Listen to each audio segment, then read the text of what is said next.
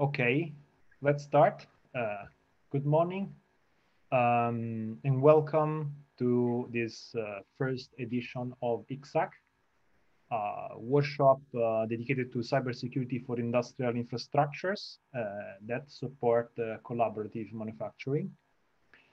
this year, ICSAC is hosted by HiPEAC. Um, so we are very thankful for the very very well done organization by HiPEAC this year uh, and the support. Uh, this um, workshop this year is also supported by Collabs, which is um, European uh, European funded project under the ICT8 call. Um, uh, so we will be presenting um, uh, Collabs, uh, say challenges, use cases, and results. Uh, my name is uh, Valerio Senni. I am uh, discipline leader of cybersecurity in the Research Center uh, of Raytheon Technologies. Uh, it's an international um, aerospace and defense company. And I'd be happy now to pass the token to my co-chair, co-chair of this workshop, Martin. Please, Martin, feel free to continue. Thanks, Valerio. And Valerio, if I might ask when you already go to the agenda, because then I can give everyone a brief overview about the first part of today's uh, workshop. So we will start, um, or we will have several sessions today, and we will start with a keynote uh, on Collabs given by Srdjan Škrbić, so right after we start. And then we will have first an industrial panel with invited presentations one given by Professor Egbert Jan Sol from TNO, so an organization for applied science in the Netherlands. And Professor Sol has a strong background in industrial IoT, and he's also engaged in multiple organizations like EFFRA, and will give us an overview about Industry 4.0 initiatives in Europe. And that will be uh, then followed up by Erwin Moed from side of Philips, also a partner within Collabs. And he will also follow up by giving a presentation on Industry 4.0 requirements from the point of view of end users. Basically. After a short break, so we will have just a few short breaks in between, but after a short break, we will then have a deep dive into Collabs technologies. And uh, that means that the different streams and work packages, um, development uh, work package, so to say, of Collabs will be presented and then brought together by one um, presentation who shows um, this is about the MVP plans and objectives given by Dimitris, how that fits together in the overall Collabs framework and how that will be used um, by Collabs pilots is then uh, shown in the end by Valerio. And maybe Valerio, I hand back to you, then you can complete with the overview about what happens in the last sessions of today's workshop. Thanks a lot, Martin. The last two uh, slots will be first one, uh, an invited the speech from uh, SeCollA. It's uh, um, uh, our twin project. So the other project awarded under ICT8 will be very interesting to share uh, what they'll be doing. and the last part is um, will be a little bit more interactive session with polls about your feedbacks and directions in this domain of cybersecurity for industrial manufacturing. So stay with us uh, until the end. There will be uh, will be an opportunity to share your your thoughts. So um, Srdjan, I'll be happy to uh, give you the the floor here. Thanks.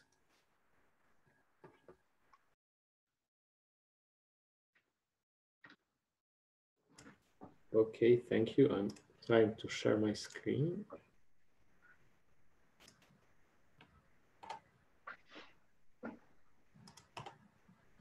Yes, you should see my screen now. Okay. Uh, my name is uh, Srdjan Škrbić. I am a professor of computer science at the University of Novi Sad, but here in, in the Collabs project, I'm uh, right now scientific and technical coordinator. So my, my presentation will be an overview of Collabs project. It's one of those Horizon 2020 projects that rec received funding in the research and innovation action, research, research and innovation program of the EU. Uh, okay, so so Collabs. Uh, let me just try to organize my screen here.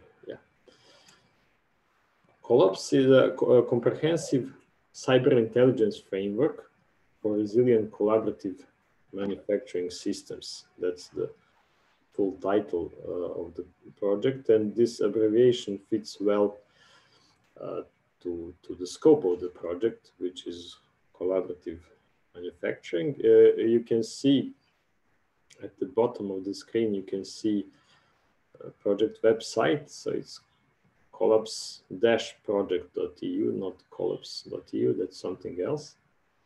And you can also see LinkedIn page of the project. There's also Facebook and Twitter page, but I think this LinkedIn page is, is the most active. Okay, so let's then start with, with the overview. Uh, there's a lot of information in this slide. I will start with the consortium. So our consortium uh, has 13 partners. You can see their logos here at the bottom of the slide. Uh, three partners at the left side are use case providers. Uh, so companies, Renault, Pratt Whitney, or it says Raytheon Technologies here. You see the, the logo is almost the same. So Raytheon Technologies and Philips. Uh, and the others, you can see them here. Uh, some of them uh, from IT industries, some of them from academy like us. there was Siemens and so on. so 13, 13 partners.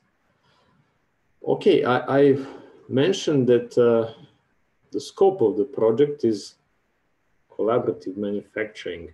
So you can see some illustration here at the left side of the of, of this slide. Uh, this is an overview, so we won't go into too much details, uh, but we can see two segments of, of this picture. One of them is digital manufacturing infrastructure.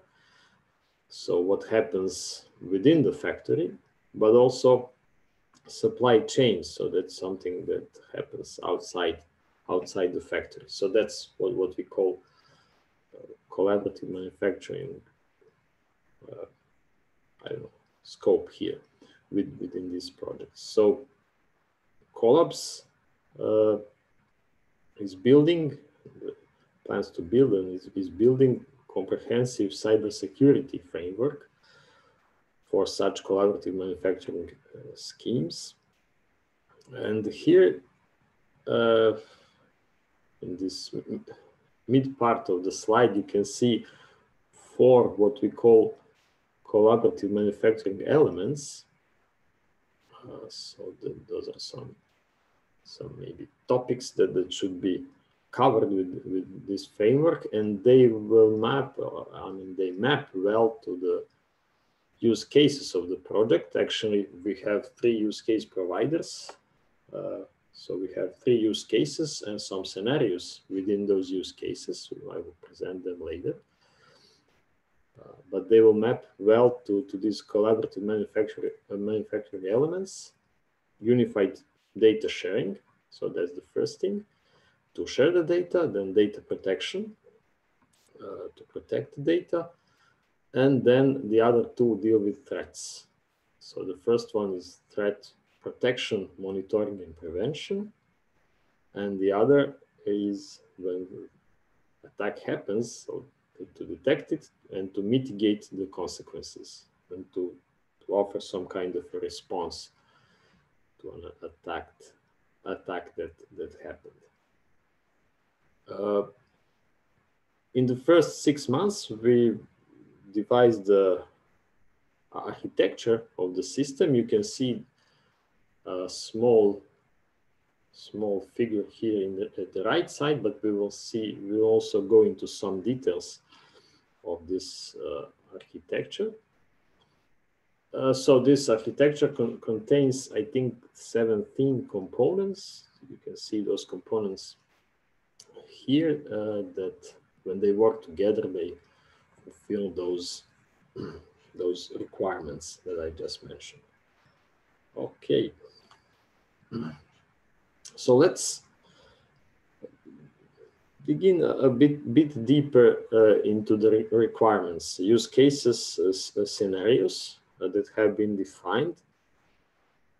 So three use cases, since we have three use case providers, Raytheon from uh, aerospace industry, Philips consumer electronics, and Renault, Renault is automotive industry, car manufacturer. Let's, uh, so th those are use cases and with, within them, we define some scenarios. You can see scenarios here. It looks like there are nine scenarios, but some of them are shared. So let's go through them uh, because I think they will illustrate well uh, what we're trying to accomplish within the project. So secure remote maintenance. Uh, this one is shared between actually Raytheon and, and, Renault. You see number one, secure remote uh, maintenance here and here in, in Renault. Uh, then secure data sharing. Number two, uh, with Raytheon technologies, but also uh, with Philips, secure data sharing. Secure cloud-based data analytics. We have here, we have it also here in with Renault. Philips has shop floor threat detection and prevention scenario. And Renault has two scenarios of its own, asset management and threat detection and prevention. And the fourth one is very interesting to me, securing connected devices. So those devices are IoT devices uh, more at, at, the edge. I think we, we will uh, tackle that, that story again when, when we go to, to the components of the architecture. okay, so those are the requirements. Uh, let's let's now uh, well try try to go to the architecture, but but uh, not to the details of of individual components. We will have these presentations later uh, when, when, we will see what happened within the work packages. Some of the components are uh, up and running, working, uh, integrated. So, uh, the others are running but not integrated, and there are some that are not, not running still since we are we just finished the first year first year of the project. I already mentioned collaborative manufacturing elements. So they're here in the right bottom corner. And they're marked here in this architecture figure by colors. Uh, since we have three dimensions of architecture, we had to do it like that. It's a two-dimensional picture, so we have one dimension vertically, one dimension horizontally, but also third dimension, and we marked that third dimension with, with colors. So that's what, what we already mentioned and start talking about that. So you see that most of the components map well to the collaborative manufacturing elements. You can see the colors, but there are two components that cover two, two CMEs. So those are these two components with, with two, two colors. okay, so, so that's, uh, that's one dimension. Uh, but let's let's go to to the other two dimensions that I don't know, map, map first to the physical organization and the other to the logical organization in, my view of the things. so, if we go through, through the vertical, uh, what we call layers, I mean, they're vertical like this, but actually layers are horizontal. These are layers, connected objects. Uh, the first layer that's what, what happens close, close to the edge uh, in the factories. so IoT devices. Uh, you can see some components there. Uh, above it is a smart factory. So that's that includes some uh, intermediate layer and uh, that, that connects the connected those objects at the edge, some servers and so on. Uh, that's the smart factory layer. And the third layer is what happens outside the factory, so digital supply network. So that that looks like a, like a physical organi organization of, of things and maps well to, to those collaborative manufacturing schemes that, that we that we mentioned. Uh, and the, the third dimension is a logical uh, logical organization. So that's what we call levels. So these are levels. Uh, you can see three levels here. And you can see that uh, components map well to these levels. So there's uh, every component maps to exactly one level. Yes, in, in, in this horizontal division, we, we had only this one very general component that mapped to all three layers. But uh, and the others are within one layer. But in the, in the vertical vertical division, every component belongs to just one level. So those levels are first levels hardware enabled and device level security. So what happens at the device level? Uh, the second layer is inter-device. What happens between devices.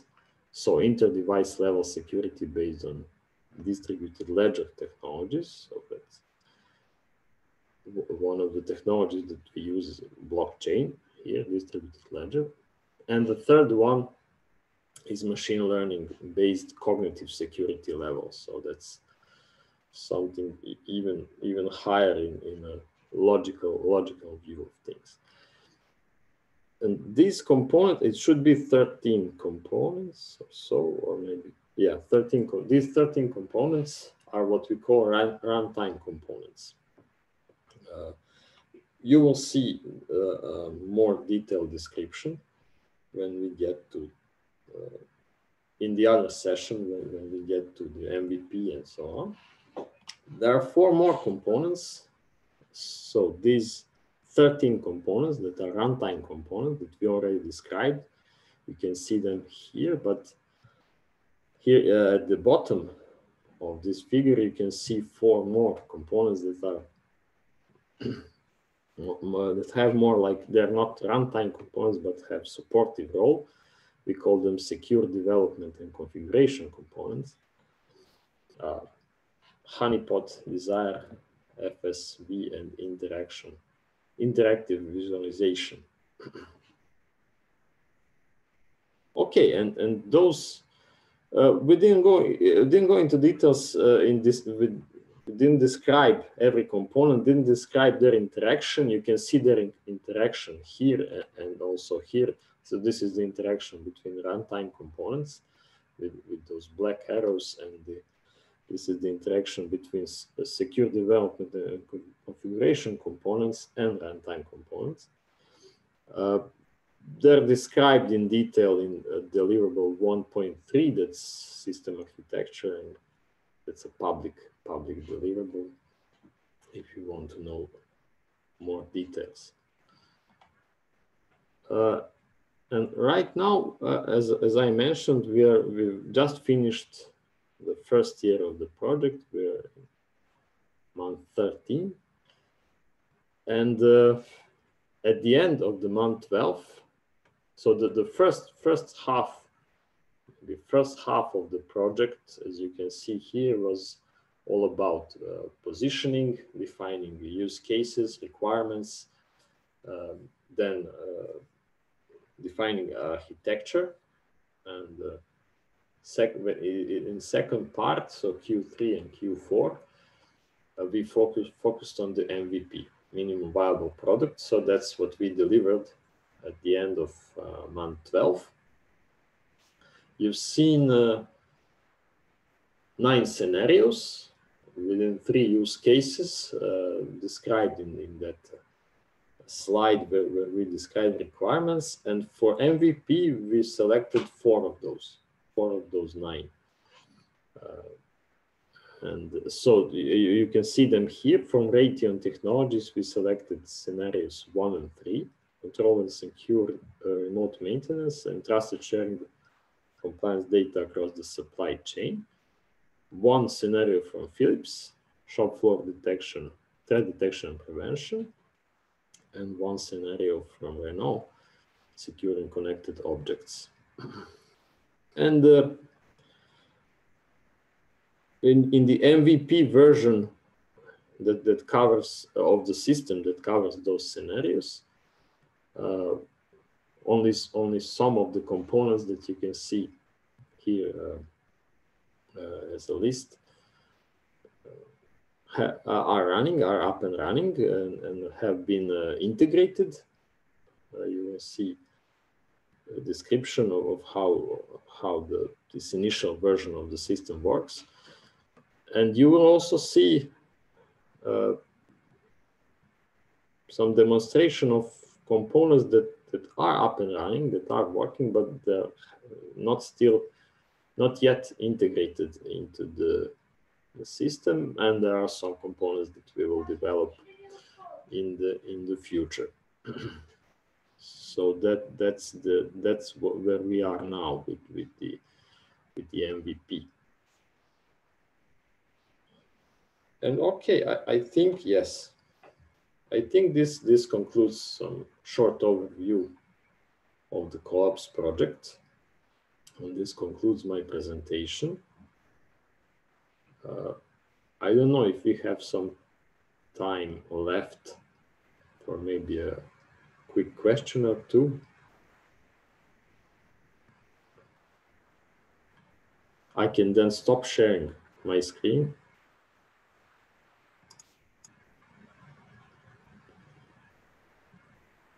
yeah, I think we have. Thanks, Srdjan. Mm -hmm. um, any question? People uh, willing to ask?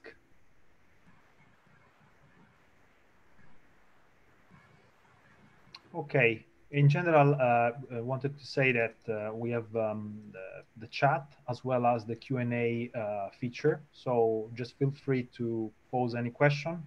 Uh, we will uh, collect them and handle them um, in the course of the workshop in the Q&A uh, session um, uh, slots. So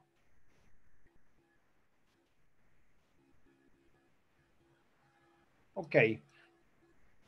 So I would say that maybe we can uh, continue with the next uh, uh, presentation in the um, in the in the agenda. This is about uh, this is about an industrial vision for uh, Industry 4.0 uh, in Europe. i am very happy to introduce Professor Sol, who is invited in this uh, workshop and will give us um, an overview about all this. Thanks a lot. Okay, shall I take over the screen? Yes, please. Share. And now play from the start.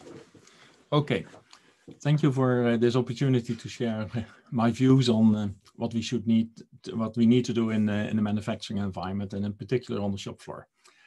My presentation is uh, really based on the work we are doing in the Netherlands in, in our Dutch initiative for the 4.0, um, uh, Industry 4.0, which we call Smart Industry in which we have about 45 different field labs in which we do all kinds of experiments. And at a certain moment, also the cybersecurity issue came up, and therefore we created a workshop. But before I come to the workshop in the end, I'll uh, have explained a lot. By the way, I have a lot of slides. I'll share them with uh, the organizers. So whenever you want to have the slides or the PDF of the slides, you can have them. It's our ambition to come to the, the most uh, flexible or best digital connected production network, not only within the factory, but also between factories and the whole value chain. And for that, you need to connect a lot of equipment uh, to the internet. And it is quite easy to plug in an, uh, an ethernet cable in a production line. uh, and just start monitoring uh, your production flow, um, monitoring the status of your equipment for all kinds of things. Uh, that's pretty easy. But how about cybersecurity? Uh, a lot of people think about these hackers uh, these days, but it is really a war ongoing. And what happened in the Netherlands, at least uh, after the Stuxnet uh, sabotage of uh, Iran, Iranian hackers probably started to attack a Dutch uh, company called DigiNotar, which submitted certificates. Was a, a, journalist who started to investigate in it. And after 10 years, he published recently a book, which was called, in, in, in English actually, it's written in Dutch, It is War, but it, no one noticed it. And actually, the whole message in this book is that it's far more serious than people realize. The next war won't be fight with guns and, and tanks, but much more with these uh, cybersecurity things. There are a lot of uh, military trained people who after some time leave the services and are allowed in countries like Iran, North Korea, but also in China and in Russia, who then start a, a, a commercial activity on hacking others. And those are extremely professional, professional people and they are allowed by their national uh, uh, national security agencies to continue with it. So out there, there is a far more ongoing than people realize. And the, the example I quite often explain to people is, have you ever seen what happens if you go on the internet? It's not going that you that you connect with one page, but quite easily you connect with 10 different pages and you hardly know uh, these days anymore what is ongoing. And this is only from the last five to 10 years happening. But nevertheless, that means that in the production environment, we really have to do a lot. And in previous slide, actually, if I go back, you can see this castle in, in, in Wales, in England, which was probably the best kept uh, or secret uh, or, or, defensible castle possible with three different layers in it. The only problem was it was so costly that it never finished uh, the building of it. And that's also a little bit the case with a lot of cybersecurity things. You can do each very advanced things, but it is it's it's almost so costly that it won't work in the end. So the question is a little bit, what, what can we do in the most simple way to protect production equipment? And not only because it is not an office environment where, where if you hack a PC, it's, it's to, to, to a certain extent, but if you start hacking robots or even power plants, these kind of things, it's uh, the consequences are, are, are even physical uh, damage to people. So you have to protect it uh, even further than office networks. In this particular case, I'll explain already my message in the whole presentation, is that you add an other firewall inside your company and put your production line in their own subnets, not one, probably multiple subnets with their own firewall, with, uh, with no USB, no Wi-Fi, uh, that might become a, discussion later on. No Wi-Fi, no hidden uh, eSIMs with uh, 3G or 4G or 5G, just everything wired connected, connected such that you can see what is happening there and no one else gets access to it. So we're really going to lock down production networks, but a lot will happen then. In the presentation, after this vision on, um, uh, after this introduction, I'll share a vision which I say that this data collection is just the beginning of it. There will be far more and more things developing in which you become really a data-driven company. And not only the company, the whole value chain will happen with it. So I'll go a little bit more in data collection from machining, uh, machine data into um, the level of digital twinning, all the legal issues with it, and finally also the, the, the, the intercompany data platforms or data ecosystems like the industrial data space, for example. Then I'll focus on the standards like uh, OCP, OC, OPC UA and why we are using it for it, and also make it more secure on it. And finally, I'll come to the, the training workshop and the, and the final conclusion. Collecting data is a trend which started, of course, with mainframes, then software became important, then uh, uh, communication, um, people could make a lot of money with it. Later on, what really happened was that platforms are now important. It's much more the internet of people, connecting people with wired systems, but also the mobile systems. But the latest trend is really that it is not so much anymore about internet of people, but internet of things combined with internet of services. And that involves a lot of data collection. So if you would look in the industrial environment, what you did saw was that it was, it started all uh, industrial control with camshelves and things like that, hardware Then the proprietary PLCs, uh, in which quite often you had a switch and a motor, a one-to-one -one coupling between inputs and outputs. Then we got into more advanced PLCs, the proprietary field buses like Profibus and all these kinds of uh, differentiation of it. But what we'll see finally is that it becomes more TCP IP Ethernet based. But below it is important trend ongoing. And that is that in internet uh, or in industrial internet environments, you see that the average between input outputs is growing. There are far more data collected. And even there are already cases of a hundred to one in, in these kind of environments. So you collect a lot of data. You don't do that anymore with uh, traditional PLCs. In the picture, you see a PLC from Kunbus. It's uh, actually kind of edge computer, but you can use it as a PLC because it has its 24 voltage uh, with it. But the nice thing about it is you program the, the, the PLC logic in, in Python. So on the I.O. level, with asynchronous I.O. you can do it. But then on the user interface, you can do it on the data collection and even on the analytics to the level, but you won't do that on these devices to artificial intelligence. Uh, and in this picture, I show a little bit why you are collecting all the data ultimately for AI, but AI is really an iceberg with a lot of work below it. And that's where we are talking about. So what's happening? Not only that we collect this data uh, now for zero paper uh, environment, uh, zero defect, uh, controlling every production step, uh, zero programming of robots. Why use, uh, why program a robot when you do have already the CAD files into what you could call a digital factory, in which you can produce known series of products it will evolve to more smart factories where you can have far more different variants of products, uh, smaller series, 3D printing, lot sizes one, changeover within cycle time of equipment, all these kind of developments. And ultimately in, in, in, let's say 10, 15 years, you'll see that you also get a sustainable factory in which you do also disassembling of these products, which you hardly know actually. But nevertheless, uh, it's at this moment this digital factory. And in the digital factory, what we do see at this moment, of course, you have the ERP systems, uh, those kind of things, or uh, MRPs, manufacturing resource planning, but you want to have real-time data from your factory floor. Not that at the end of the day, they fill in forms and things like that, but really that the machines start communicating directly to the MRP systems and you can do the real-time scheduling. So initially we have a few systems uh, digitalized work cells, but what is happening now is that more and more of the machines are interconnected and you start collecting this data. Now, you won't store it in the long run in these ERP systems. You, you'll create much more digital twins, not digital twins of your products, uh, digital twins of your uh, machinery, but also digital twins of your whole production systems. And you start updating it. So there's a lot of developments ongoing. And on that level, you have all the ICT uh, cybersecurity support. But in the manufacturing line itself, and that's the focus at the bottom of the slide, there is this uh, additional need for more protection on it. Why then, before I go into focusing on the on the, the edge and the OIT, uh, the, the operational technology environment, why, why are we collecting all this data? Well, realize that the ERP system these days are extended with an outside interface. They called it customer portals, such that customers can see the progress of, develop, of production as well.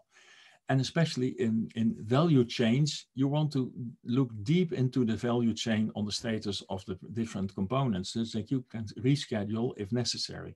And particularly with COVID, we saw that that is quite important.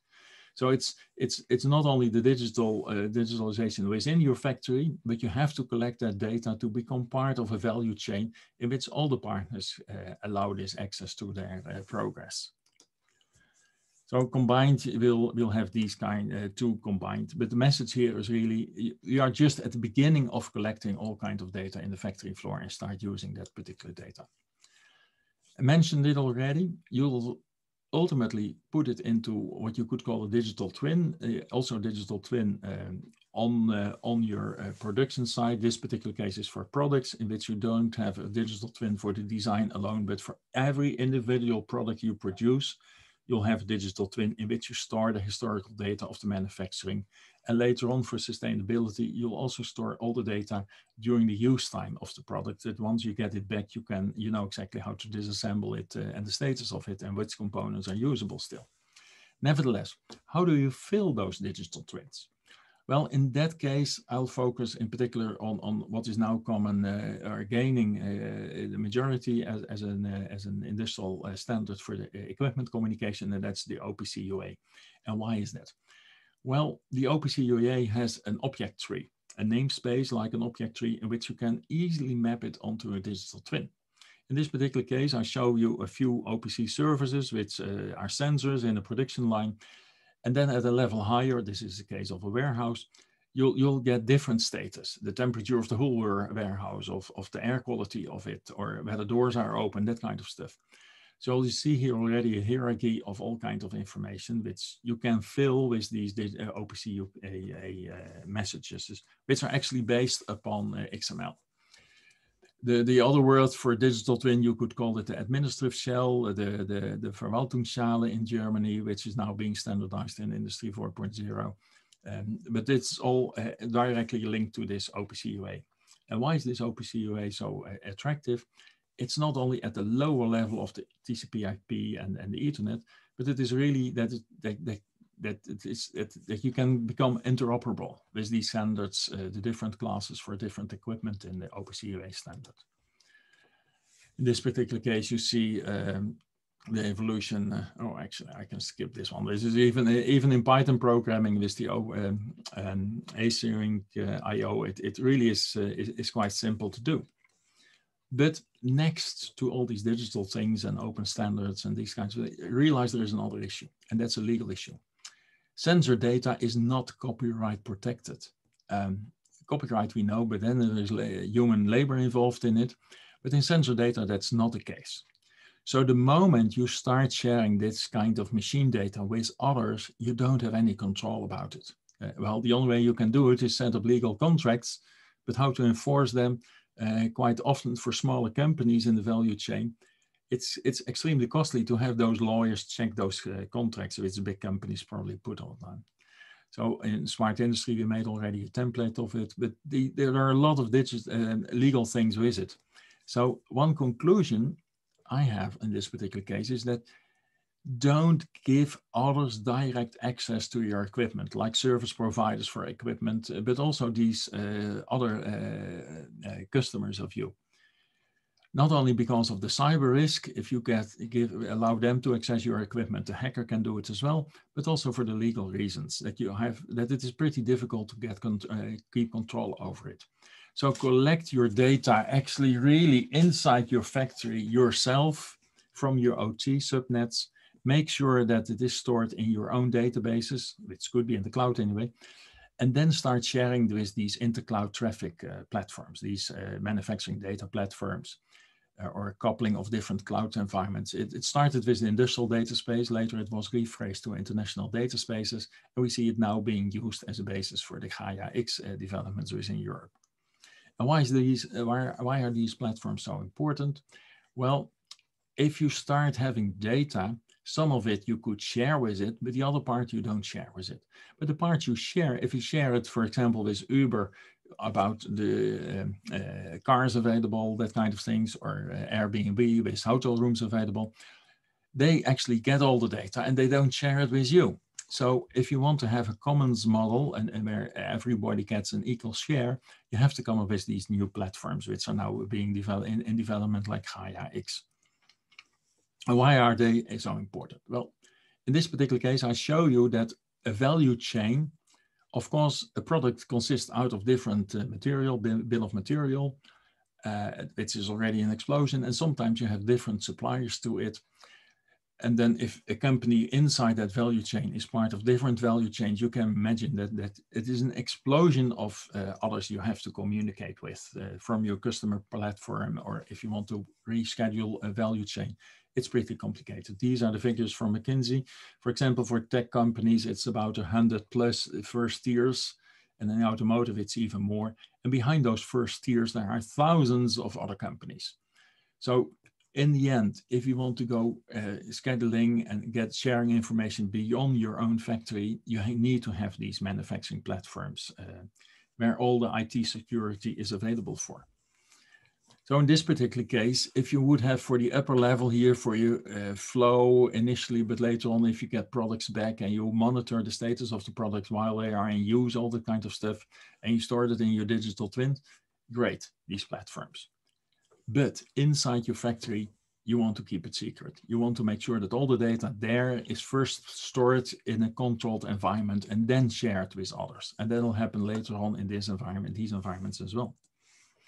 So let's focus a little bit more on this uh, OT environment, this operational technology environment, um, and especially on the on the cybersecurity part. So at the engineering level or the office or the company level, you have these uh, data platforms for uh, exchanging everything to everything. So there is no need to have others having direct access to your equipment. So you start isolating it in your own OT subnet no Wi-Fi, no USB, locked firewalls, all these kinds of things I'll explain in the next slides. But the problem a little bit is with OT people don't understand IT environments. And IT people are, are, are making things too complicated for the OT environment. So the question is a little bit, how are you going to do it? Uh, because no one told these OT people, these operational people, because they want to produce and they don't want to play with IT systems, how to do it. And then there is this lack of digital skills. So we decided to set up a workshop. In this particular workshop, it's uh, it's uh, a, Raspberry Pi based uh, edge computer, the Kunbus uh, device. It's a 24 voltage, uh, 500 euro. But for the workshop, we just grabbed uh, a couple of Pis, put some I/O on it, and, and and created a workshop. And in this workshop, we first learned people. It's a one-day workshop to collect data, the, the simple data. You see an example here and, and this is a more extensive visit. So just playing around with these edge computers, uh, working with Linux uh, a little bit, uh, and, and then doing a little programming or pre-programmed uh, programs with some errors in it, and they have to correct them. Then what happens, uh, this is by the way, this uh, Kunbus, but what happens once they start collecting this data, at a certain moment, we hack them. We continuously hack them again and again and again. And with all the relays in it, once a group is or a participant is being hacked, every other uh, everyone else in the room hears that that one of the devices has been hacked again. So what are we doing then? Well, first of all, we, we they, they haven't changed, of course, passwords. So that's pretty easy to hack a PC over the network uh, or a Pi on uh, easily then they don't realize that there are hidden users and they have to block the hidden users. Then there is hidden software pre-installed on it. so by the end, they really get frustrated. And then they uh, come to the level that they start realizing they have to put it behind the firewall. But what to do is a firewall, uh, pretty costly things. Although these firewalls we use are just 50 euros, so that's not, uh, not so much the issue. But firewalls are quite often complex especially if IT people start playing with firewalls, uh, even I sometimes lose what they are doing with it.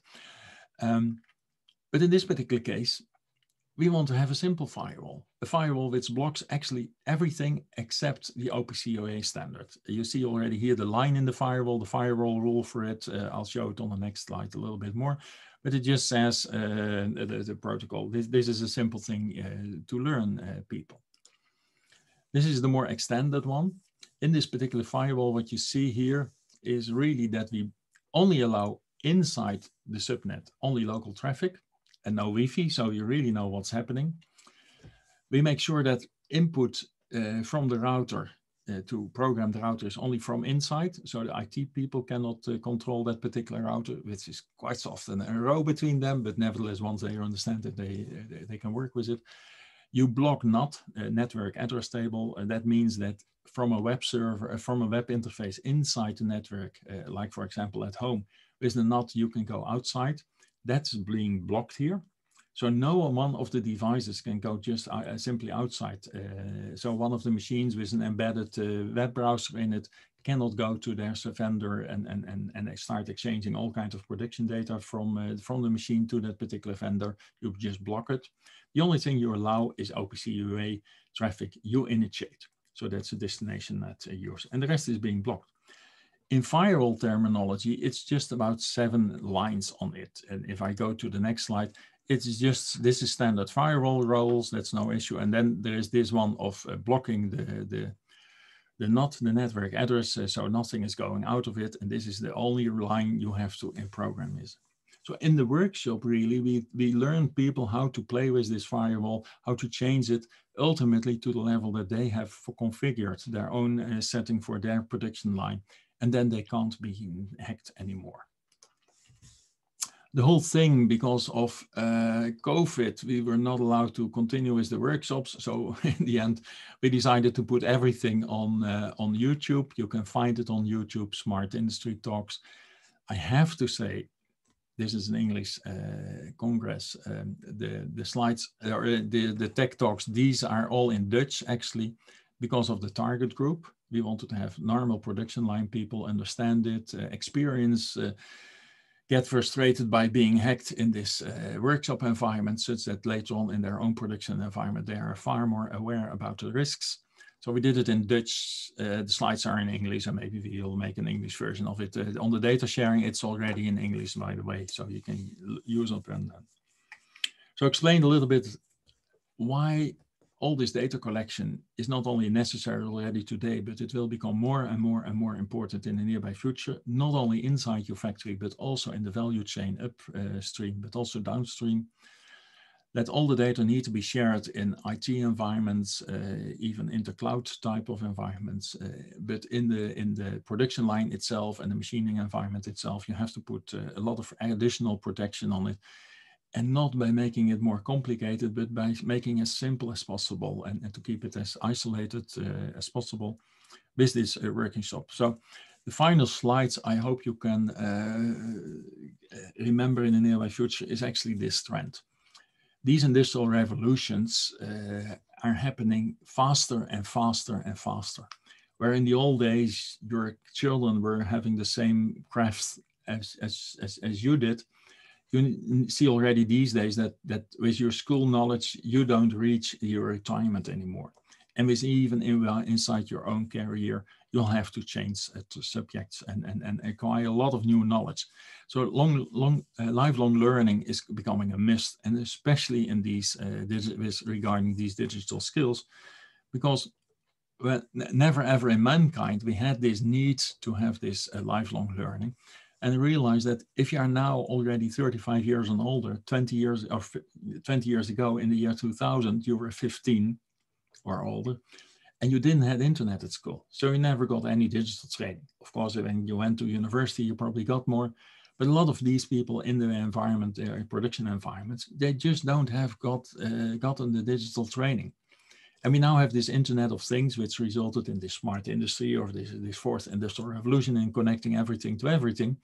But the next 10 years, we'll see this artificial intelligence, quantum computing, and, and we just can't, uh, we can't predict what the industrial consequences this will be. But the only thing we can predict is that lifelong learning is going to be a must. And for that reason, we designed this, uh, this particular workshop. The question is a little bit, what else can we do to train all these kinds of people? So with this, uh, I'll end my presentation. Um, it's really funded a little bit by the Minister of Economic Affairs and these kinds of things. And my background is on this one as well. And with that, I'll, uh, I'll stop uh, sharing. Thank you. Thank you, Professor Sol. Uh, very, very interesting, uh, let's say, presentation and really, really very well tied to Collabs project. Um, I, I have just a couple of quick questions. You, you touch upon uh, several very important uh, topics, devices, connectivity, uh, security, uh, data, needs of collecting data, um, sharing this data and analyzing this data to make the production more efficient, uh, understand where are gaps. Uh, I think and and also you you touched upon the complexity of managing complex uh, infrastructures with uh, layers and uh, authorization of data flows through them i think these are really really um, topics that we're also uh, looking at in collabs um, besides let's say uh, uh, also collaborative scenarios so cross uh, company uh, collaboration and connectivity. So this is one area where I wanted to ask your input. So um, so we are seeing a lot of need of integration in the supply chain between different man manufacturers. So, for example, the international situation shows us how market can be really unpredictable because uh, global uh, events can uh, disrupt strongly any well done prediction. Um, and so the need of um, uh, supply chain to cope with uh, these uh, unpredicted events and cope with very quick change, which means that, of course, digitalization and uh, better integration between partners in the supply chain is going to be an enabler for this kind of uh, yeah, that's, that's at this moment the trend that all these ERP systems they want to put uh, information in the customer portal so that their vendors or their customers can see the progress of the production. But that means that that you also um, have to connect your equipment uh, to it to, to provide real-time updates of how far it is. I mean, every customer knows when he orders a package, you can trace that exactly where the package is at any moment.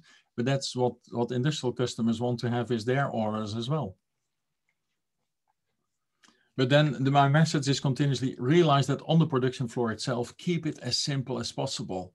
Don't introduce their uh, uh, extra features uh, and, and especially hidden um, uh, 5G uh, type of chips, uh, which you don't know what is happening in it, Wi-Fi's uh, on it. It. It all makes it more complicated. And, and people who are responsible for the production line and also the human safety on it, they don't know what's happening anymore. How can they take the responsibility for it unless you keep it as simple as possible?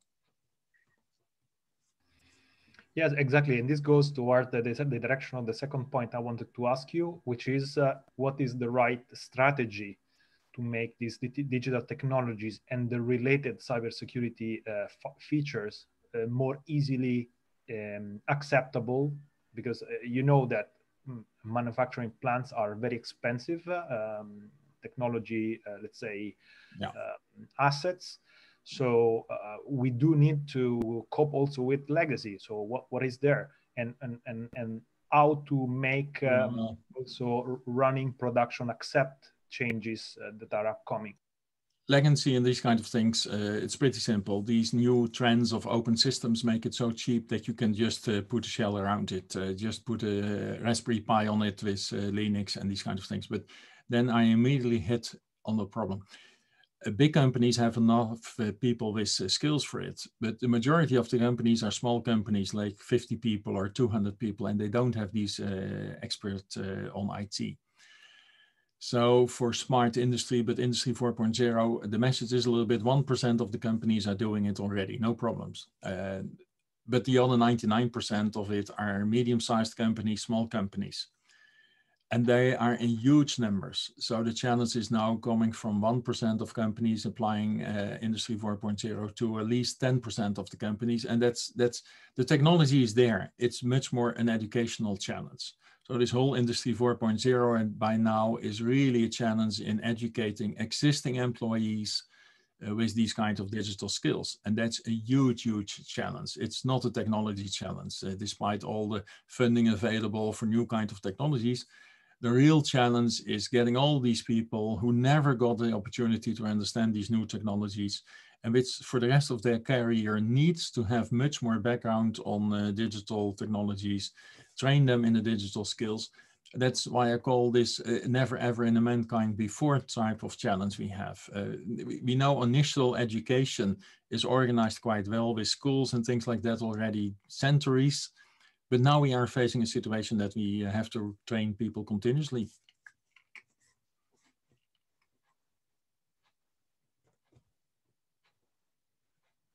Thank you very much. Um, any any additional question?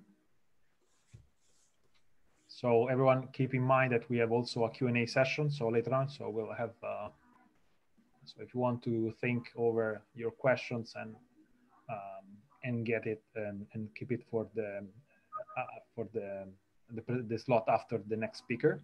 Yeah. Okay, so if uh, if I can, uh, I'd be happy to introduce Erwin from Philips. Give us um, end user perspective on the cybersecurity challenges that we are facing. Thanks. Yes, good morning, everyone. Let me share my screen. And you should be able to see my screen right now. Able to hear me fine. I see Valerio nodding. So let me get started. Good morning, everyone. I just want to give a big thank you to Professor Sol for his uh, engaging talk. As a consortium, we are very uh, grateful that the professor was willing and able to, uh, to join us here today.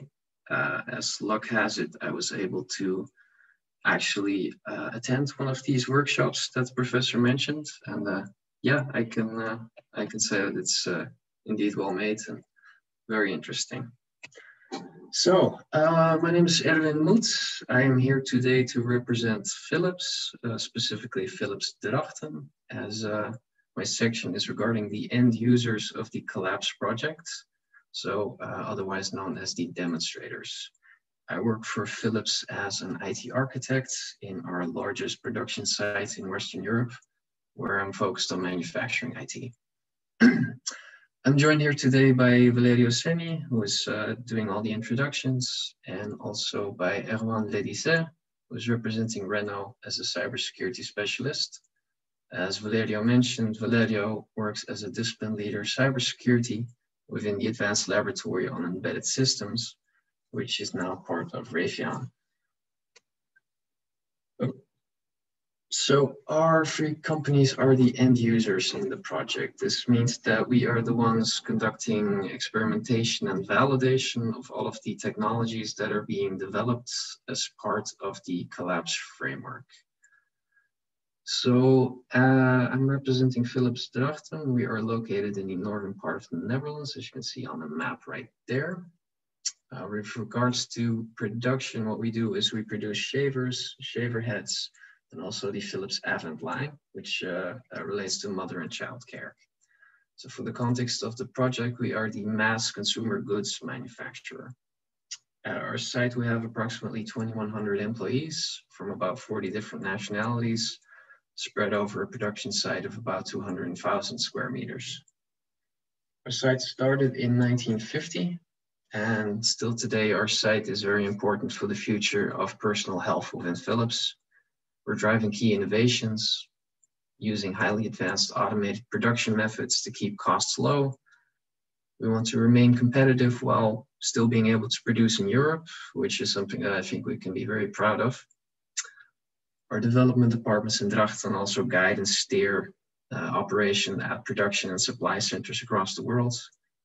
So we try to use a unique combination of innovation, new product introduction and operations to help empower our site. So for us as a site, it's very important that we remain a top performer in manufacturing. Uh, we believe that tomorrow's performance targets can only be met if we continually improve and we recognize that security plays a very important aspect in all of that. So on behalf of uh, Valerio, let me explain his position and Raytheon as a company. So Raytheon is an international organization working in the aerospace and defense sector. Raytheon participates in Collabs through ALES. ALES is the Italian site of, of its research center. So ALES brings R&D expertise in embedded systems and communication cybersecurity. ALES within the project leads work package six, which means that ALES is responsible for the industrial demonstrators, and bring and it brings a use case to us from Pratt Whitney. So Pratt Whitney is a world leader in jet engine manufacturing, which has a large industrial footprint in Europe. Digitalization of manufacturing processes is considered to be essential in the aerospace sector. So in this context, the protection of sensitive data and continued operations of plants is considered to be essential for parts and quality assurance.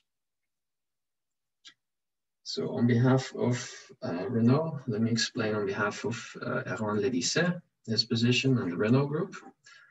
So Erwan is part of the security department, which falls under the responsibility of the CISO group within Renault.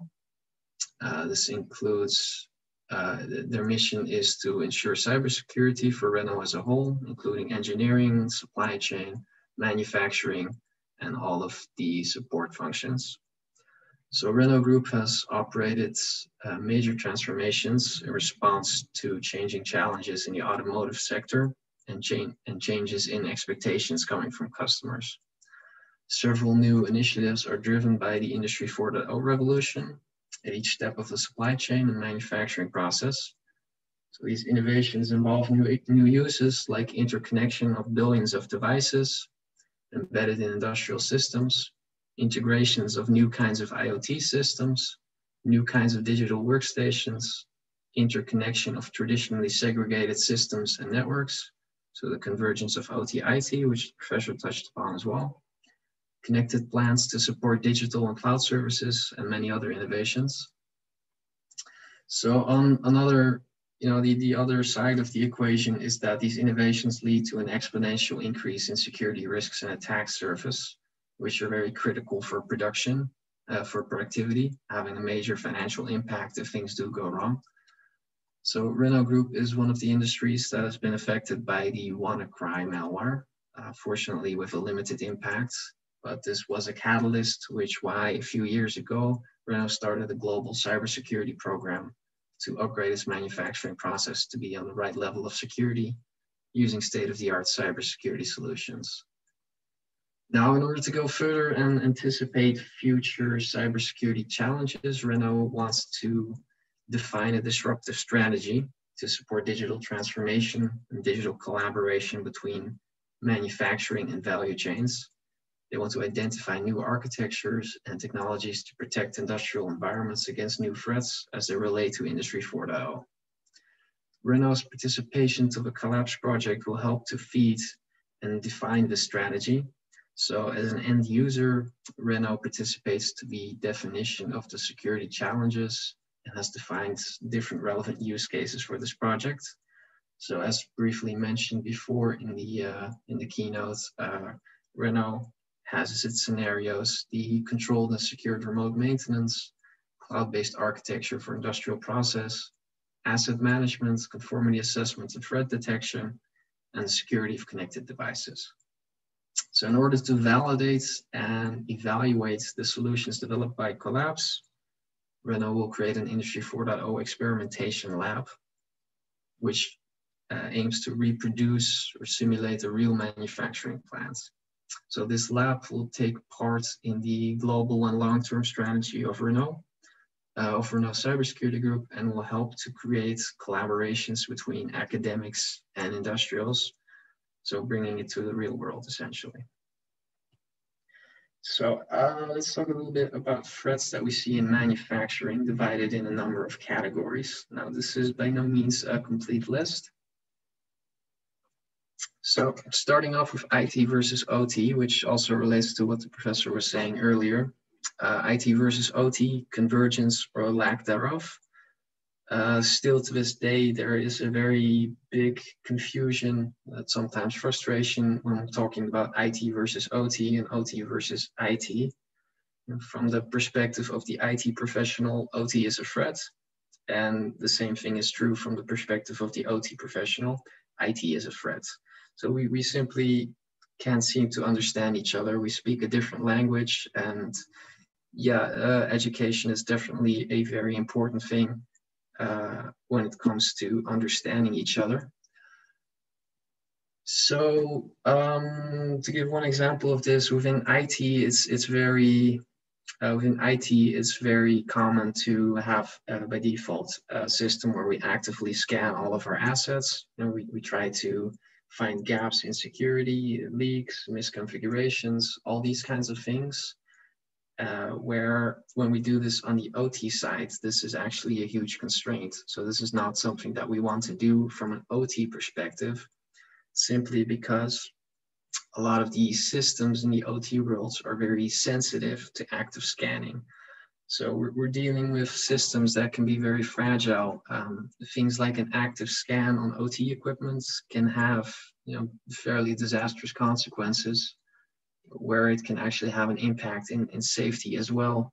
So we have a discussion of safety versus security as well to consider. whereas IT professionals, we're all about uh, security, keeping things secure. And from an OT perspective, there's actually safety to consider. So actually bodily harm to personnel, um, things that can go wrong in that area. So imagine what happens when an IT process impacts OT equipment in a way where a massive press suddenly starts moving where the operator is not in control. Know, this can have serious uh, safety consequences, safety risks. Or imagine like a, a robot arm which does not understand its balance properly anymore. This can have safety risks.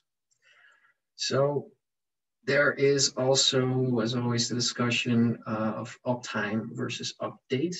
It, it's it continues to be, and this is true for every manufacturer. It continues to be very troublesome to to talk about this. So, what's actually more important, having a uh, having a good uptime or having a good uh, having a uh, or having our, our, systems be up to date? You know, because updating our systems means that the uptime goes down. So this is this is a constant field of, of tension between IT and OT people. It's it's very tricky to to help understand each other uh, when it comes to this area. Um, and there, then of course, there's the factor to consider that uh, oftentimes it's simply not possible to to update this equipment because the updates don't exist or the system cannot go down for any reason. Uh, we, we have a lot of legacy equipment to deal with. You know, these are some of the realities of, of manufacturing. So finally, when it comes to IT versus OT, um, yeah, who actually owns what? So because this is also different for each company, uh, it, it, makes for a very complex puzzle. So who owns which piece of the complex puzzle?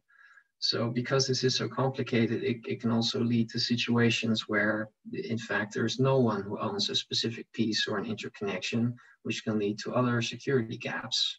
So it, it's a complex puzzle. Um, speaking about interconnected environments, so I gave the example about automated scans and its impact a bit earlier. Um, as we move more and more towards an interconnected world with collaborative manufacturing, these lines, they, they begin to blur. You know, um, as, as the professor mentioned as well, where it was always the norm, perhaps still is, to be isolated and disconnected between manufacturing and between office networks. Um, we're seeing a real tension there. You know, there, there are changes that are occurring we i think all of us it's fair to say that all of us see a very strong desire for data more and more data you know all differentiated into different levels of abstractions as well so a process engineer might might want raw data where a where a line uh, manager is interested in in, in equipment efficiency so these are all things to consider um, we want to support all of these developments, but still it's very important to, uh, to do this in a manner that's actually secure and actually that uh, enables uh, the secure uh, transport of this data. Let me speed up a little bit. So other threats that we see, uh, coworkers and vendors, it's it's very important to differentiate between uh, intentional and unintentional threats when it comes to people. So there's a large difference between a, a vendor that comes into our environment with a malware infected laptop or someone that is actively attempting to sabotage an environment. You know, these, these are things to consider. They have a they have a very different uh, intent, but the impact can actually be similar and be fairly catastrophic, catastrophic in the same way. So uh, legacy, I mentioned legacy. We have a lot of legacy equipment to deal with, uh, unsupported operating systems, hardware, software. Sometimes we joke around where we say that we have certain operating systems in place right now that run production that are older than the people servicing them today these are the realities of, of a manufacturing environment. So this is something that we need to take into account. Fragility, as I, I mentioned earlier, um, one thing to keep into mind is that OT equipment is fairly fragile. It's, it's uh, exceedingly easy to break these kinds of systems simply because they're not programmed to accept any inputs other than what the original programmer had defined for them. So things like a port scan can break them. They can be non uh, conforming to existing protocols and structures. So it, it, it makes for a very complex puzzle where we have to be very careful when we actually access OT equipment not to accidentally break them. So that's the level of fragility that we need to take into account. So existing countermeasures that we take as organizations, it's, it's of course a mixture between technical and organizational measures where we have IT security policies in place to hopefully uh, let people follow procedures, follow standards, not do anything too crazy. We want to have secure remote access in place for our vendors. So things like multi-factor authentication, uh, segmenting these, these flows is extremely important, as mentioned earlier on by the professor. Network segmentation, uh, we can use specialized UTM, which has support for industrial protocols. So we can actually understand the protocols that we're, that we're speaking on these environments and, and take certain measures to, to get in control better. Um, finally, I would say that the focus on knowledge and relationships is very important as well. So we need to understand that we will not ever uh, know everything that we need to know in order to do our jobs. And that's why, because we're all facing the same problems, we need to work together, share this knowledge, and uh, continue to build our relationships. So to finalize uh, the end user section, I'd like to speak a little bit about the value adds that the Collabs project is going to bring. So what we envision from Collabs is a complete novel security framework solution to help us protect the whole supply chain. Uh, we want to enable us to perform secure data exchanges across the digital supply chain, all while providing a high degree of resilience, reliability, accountability, and trustworthiness we want the framework to address threat prevention, detection, mitigation, and, and ideally a real-time response. Um, we see that Collabs will achieve these goals by utilizing state-of-the-art technologies, making significant scientific and technological advances in various fields such, as secure multi-party computation, homomorphic encryption, distributed deep learning, anomaly detection, distributed ledger technologies, smart contracts, and distributed remote software attestation. So I think it's fair to say that we have a, a fair number of very ambitious goals within our project. And as demonstrators, I'd say that we are very excited to see real world solutions uh, for our real world problems. So thank you for listening. And I would like to end the presentation from the end user perspective from here, and we can start opening up the floor for the open discussion and Q&A. Thanks a lot, Erwin. So yeah, uh, that's perfect timing as well. So maybe would be nice to have um, any question from from the attendees. So feel free to jump in. We have a little time here dedicated to this purpose.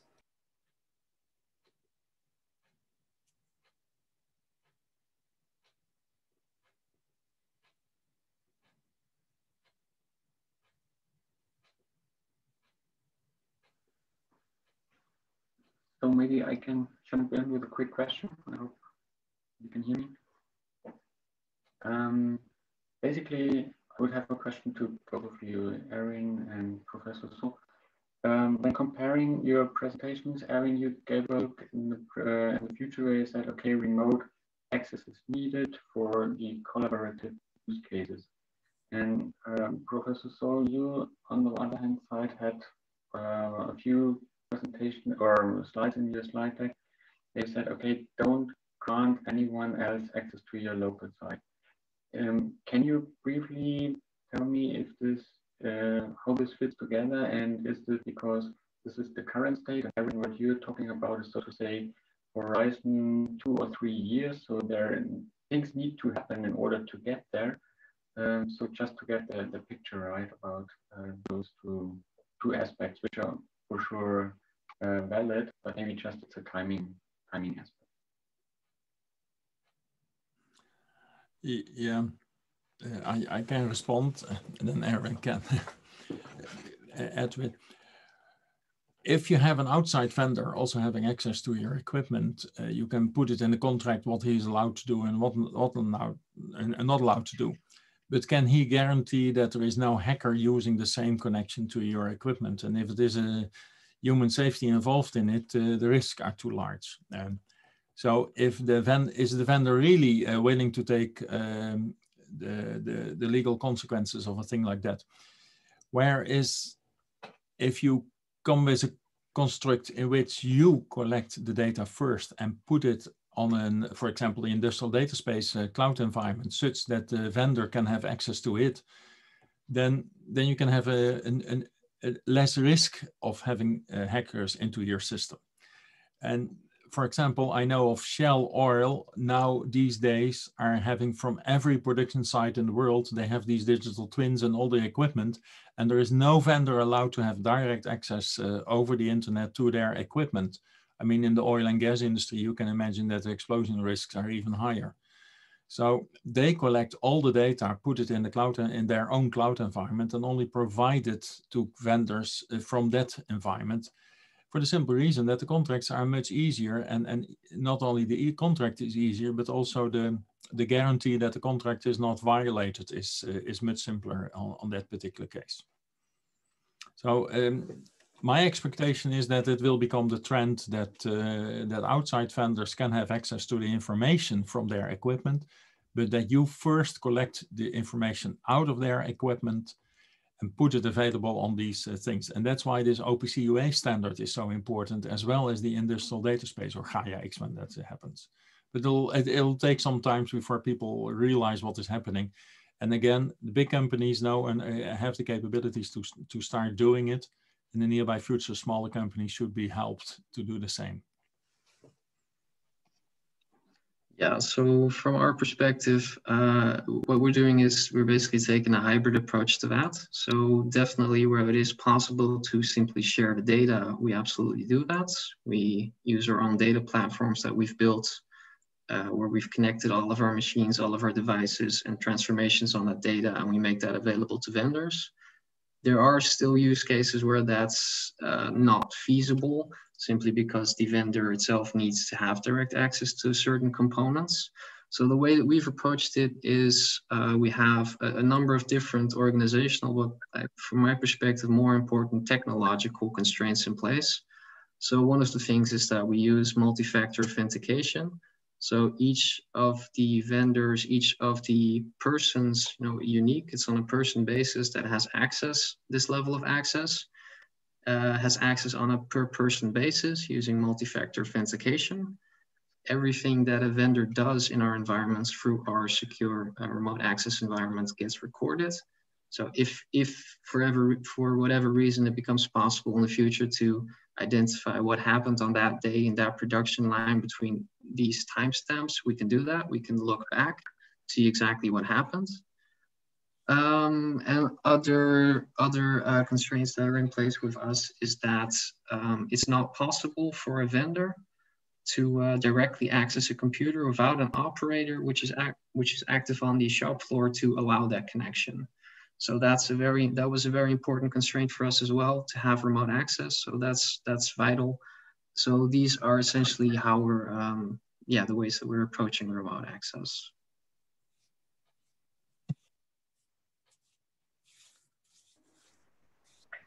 Thanks a lot. Um, so maybe if you allow just one more quick question. Uh, Erwin, you were addressing additional security measures like um, fine-grained access control, multi-factor authentication, and stuff like that. Um, so you approach it more from a network perspective to say, okay, you're safeguarding your uh, perimeter security by a concisely managed firewall, for instance. Um, for example, OPC UA traffic, do you still see any potential um, yeah, security risks which need to be handled, so to say, on the application layer or on the protocol layer? So opening um, port 48, uh, 48 something like this for um, OPC UA is some kind of additional access channel. So Erwin, you on your slide deck had the mouse hole. So this could be some kind of mouse hole where you can still get in. Uh, do you see a further need for protecting it? Although you might still open it at a very limited range to do something on top of um, yeah network level security on the mm-hmm. application mm -hmm. layer, so to say? Yeah, yeah, no, it's a good question.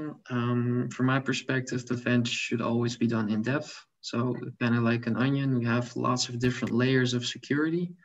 Um, what we do for remote access specifically is we, we simply allow access to those specific systems that a vendor might need to access. So uh, upon the uh, segmentation on the production line level, as Professor mentioned, we also do a segmentation on the production line specifically to those devices that need to be accessed remotely. Um, and then finally, with regards to OPC UA, it, it is possible to enable encryption, authentication, all these kinds of uh, systems, but it, it quickly becomes a, a, scalable problem. So looking at our use case, looking at how we address OPC UA and how we utilize that within our data platform, um, we're using all kinds of different solutions uh, for, with regards to containerization, orchestration. You know, we have a lot of different microservices which we use to communicate with OPC UA servers running on uh, uh, industrial machines. So once, if we want to enable authentication, which you, which you could do using X509 with uh, OPC UA, it, it very quickly becomes a very scalable problem. So we need to have unique uh, certificates in place for all these different machines. And then there are a lot of uh, practical concerns when it comes to security and OPC UA it is something that we've found. So we, we might end up uh, doing more with that in the future, but for right now, it's, it's a practical concern, I would say. Thanks. I've just seen from side of Davide, there is a another question just following up on uh, OPCUA. So maybe David, if you want to jump in and raise the question to Erwin and Professor Sol. Yeah, pretty simple. I know about uh, uh, Mosquitto as well, or MQTT. Uh, it's a it's it's a lower level than the OPCUA. The OPCUA has really this uh, XML, this object tree database behind it, all these kind of things, allow for much more flexibility although it's a little bit more complicated and that's a nice thing and that's the reason probably why this uh, mosquitto protocol is still used uh, because it is so rather simple and it has been implemented in a lot of devices but in the long run you have to uh, start investigating into OPCUA.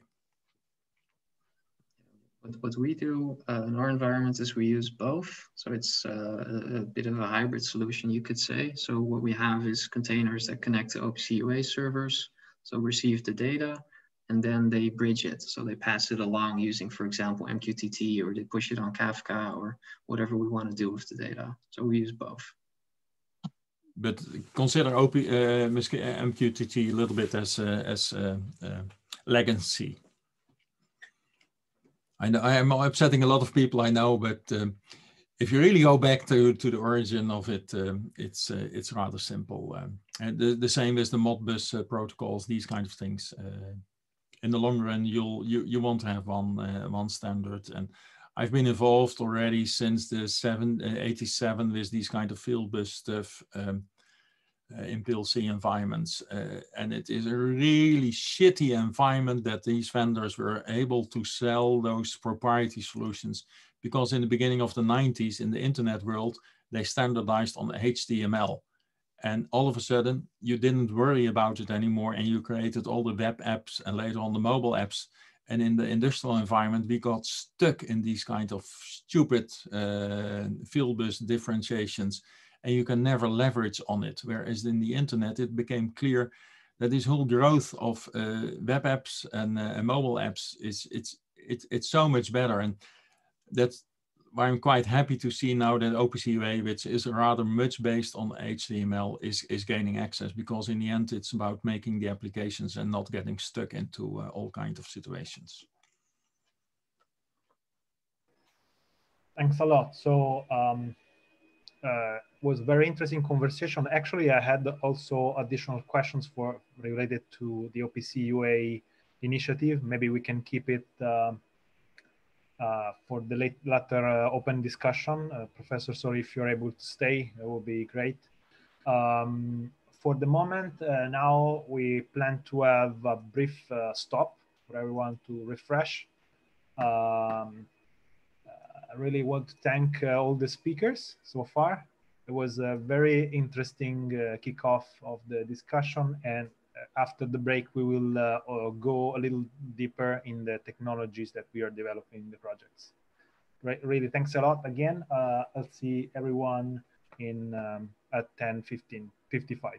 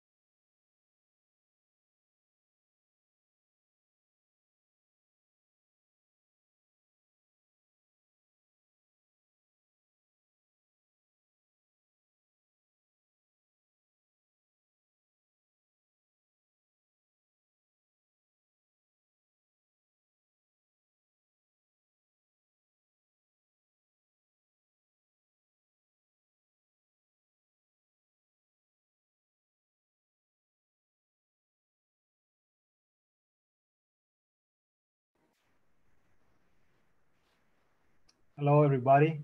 Thanks uh, for this short break for everyone. It was helpful and welcome back. We are now going to uh, proceed with the rest of the uh, sessions.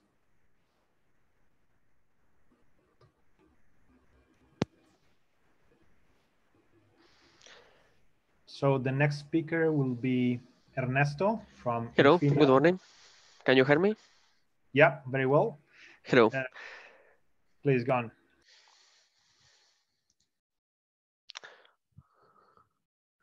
Mm,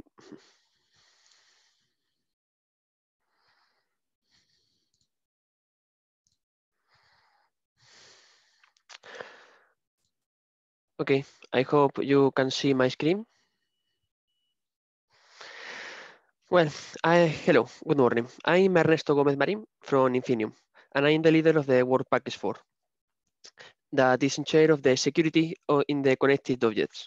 And I will present this part. Here we will talk about the lower security level of the project. We will start with an introduction. and Then we will continue explaining every objective of the work package, explaining the proposed solution, and we will finish with a conclusion. The objective of the Eh, of the Workpacker are to build the tools and technologies for providing a, a secure execution environment for the edge IoT devices, to ensure a proper provision, configuration, and management of the edge node assets, including industrial IoT devices like sensor and network elements, for example, file gateways. And by last, to ensure that machine learning methods that perform detection of complex anomalous and malicious behavior and implement it in a distributed way. From these objectives, we can extract uh, three tags. Security and trustworthiness at the edge, remote attestation, and threat detection and mitigation. Now I will explain our attempts and plans in every, in every of these tasks. Starting with security and trustworthiness at edge. Our vision is, as already explained, as I already explained, to build uh, tools and technologies for providing secure execution environment for the edge of IoT devices. For, uh, with secure execution environment, we mean secrecy, integrity, authentication, authorization, auto, uh, anti-replay, and no repudiation. And how we will do it? Our plan is do it using the rapidly emerging um, hardware technologies. We will uh, our first effort in this task was implementing a hardware security module in an IoT node. There are hardware security modules available for almost all the programmable devices, but we decided to start first with uh, um, working with the system on, uh, with system of chips, in particular Raspberry Pi, and not other kind of microcontrollers like STM32, SNC, or, or PSOC, just because the prototype development in system on chips is much faster. Then we, um, we decided to use um, hardware security module that follows the specification Trusted Platform Module, TPM, because they are a reliable and very widespread specification designed by the, by the Trusted Computer Group, TSG. With this, we got a re reliable key management and an, uh, in an IoT device which uh, with a fast de prototype development. The next step was in, um, integrating the IoT sensors in the consortium uh, blockchain hyperledger fabric that is needed for higher level systems. But what is blockchain? Okay, we can resume blockchain in, in a few words, like um, trusted framework that we, uh, that we consider as a closed root of trust to execute smart contracts. But on the other hand, this the smart contract execution is as reliable as its inputs. That's why integrating a TPM in the blockchain node is essential. Uh, we are providing security and reliability to the blockchain from the edge, improving the security for both oracles, which allow data to the blockchain, and the users. To make this integration, we made use of the standard PKCS 11. And the last uh, attempts in this task was realize, uh, realized in integration of the attribute-based encryption ABE in, in a Raspberry Pi. ABEI is a kind of cryptographic algorithms that is needed for higher security level systems that will be explained further on.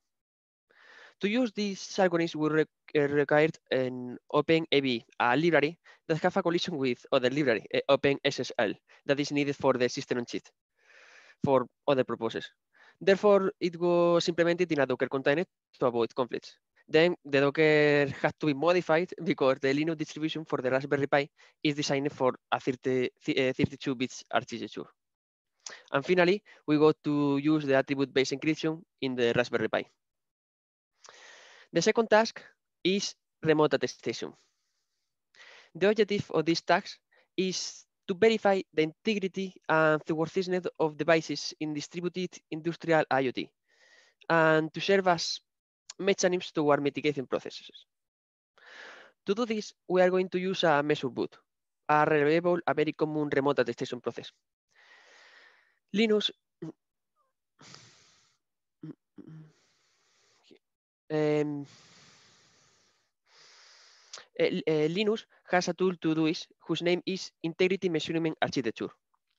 This tool, using a TPM, realizes a measure boot and send the result signed by the TPM to an external agent. Here, our attempts is um, only focus on the um, interface development between the MAI and the TPM. Also, in the development of an external agent that take the measurements, check, uh, check them, and verify the integrity of the sensor.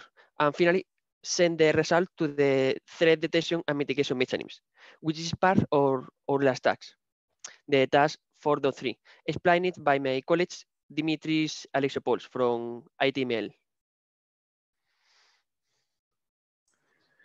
Yes, hello from my side as well.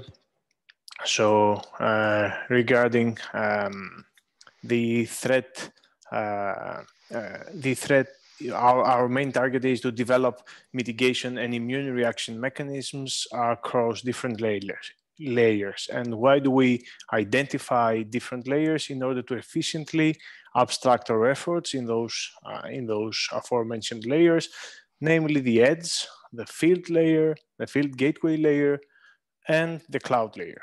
So uh, as you can see here, starting from the edge layer, uh, we deal with the connected devices in production in an industrial environment. This, uh, this means that the next layer is more like a logical, uh, network-based and functional uh, grouping layer for all the connected devices in this uh, industrial environment. And finally, the cloud layer is an overarching umbrella connecting different use cases and scenarios uh, previously mentioned between different environments. Now for the uh, threat detection and mitigation, uh, uh more specifically, uh, we, we um, uh, install, we integrate data by installing an agent on the edge layer as well as performing custom integrations uh, using known protocols like MQTT. Uh, it was an interesting discussion we had previously. And on the field gateway, we can also collect data from devices that do not uh, support the installation of an agent. Now, on obviously, uh, the cloud layer then uh, caters for a helicopter view that allows uh, for a combinatorial review of all the available data, uh, gives us uh, the possibility to combine knowledge and expertise uh, about known threats in, and as well uh, enable to take action towards a multitude of possible mitigation actions. Thank you very much.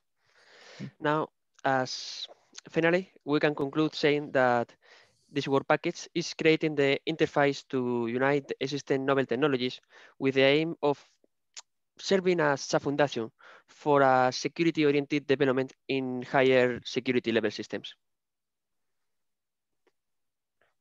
Thank you very much. Are there any questions?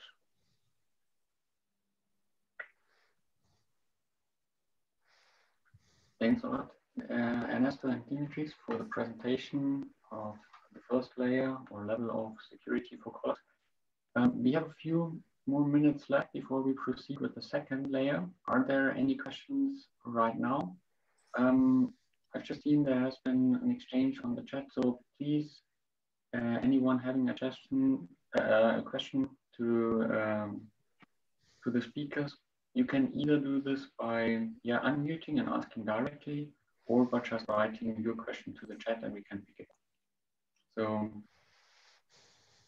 if there is an immediate question to Ernesto and to Dimitris, please feel free to post it right now.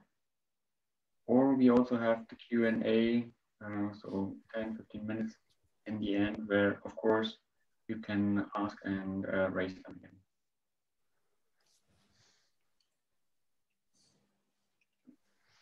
Thanks a lot, Ernesto and Dimitris. And maybe it makes sense to first continue with the other layers or security levels of Collabs. And then when um, the complete picture, so to say, is shown, then people, please, everyone in the audience, feel free to jump in with any question about the security level. And in the meantime, maybe um, let's move on with the second level already. Uh, I've seen Barbara's in the call. Maybe you can uh, then share your screen and proceed with level two, which is about resilience in smart factories. And you from side of Thales are managing work um, four, which is about uh, three, uh, four, sorry, which is about that. Yeah, thanks. So hello, can you see my slides? I try to, yeah. okay, I will try to, um,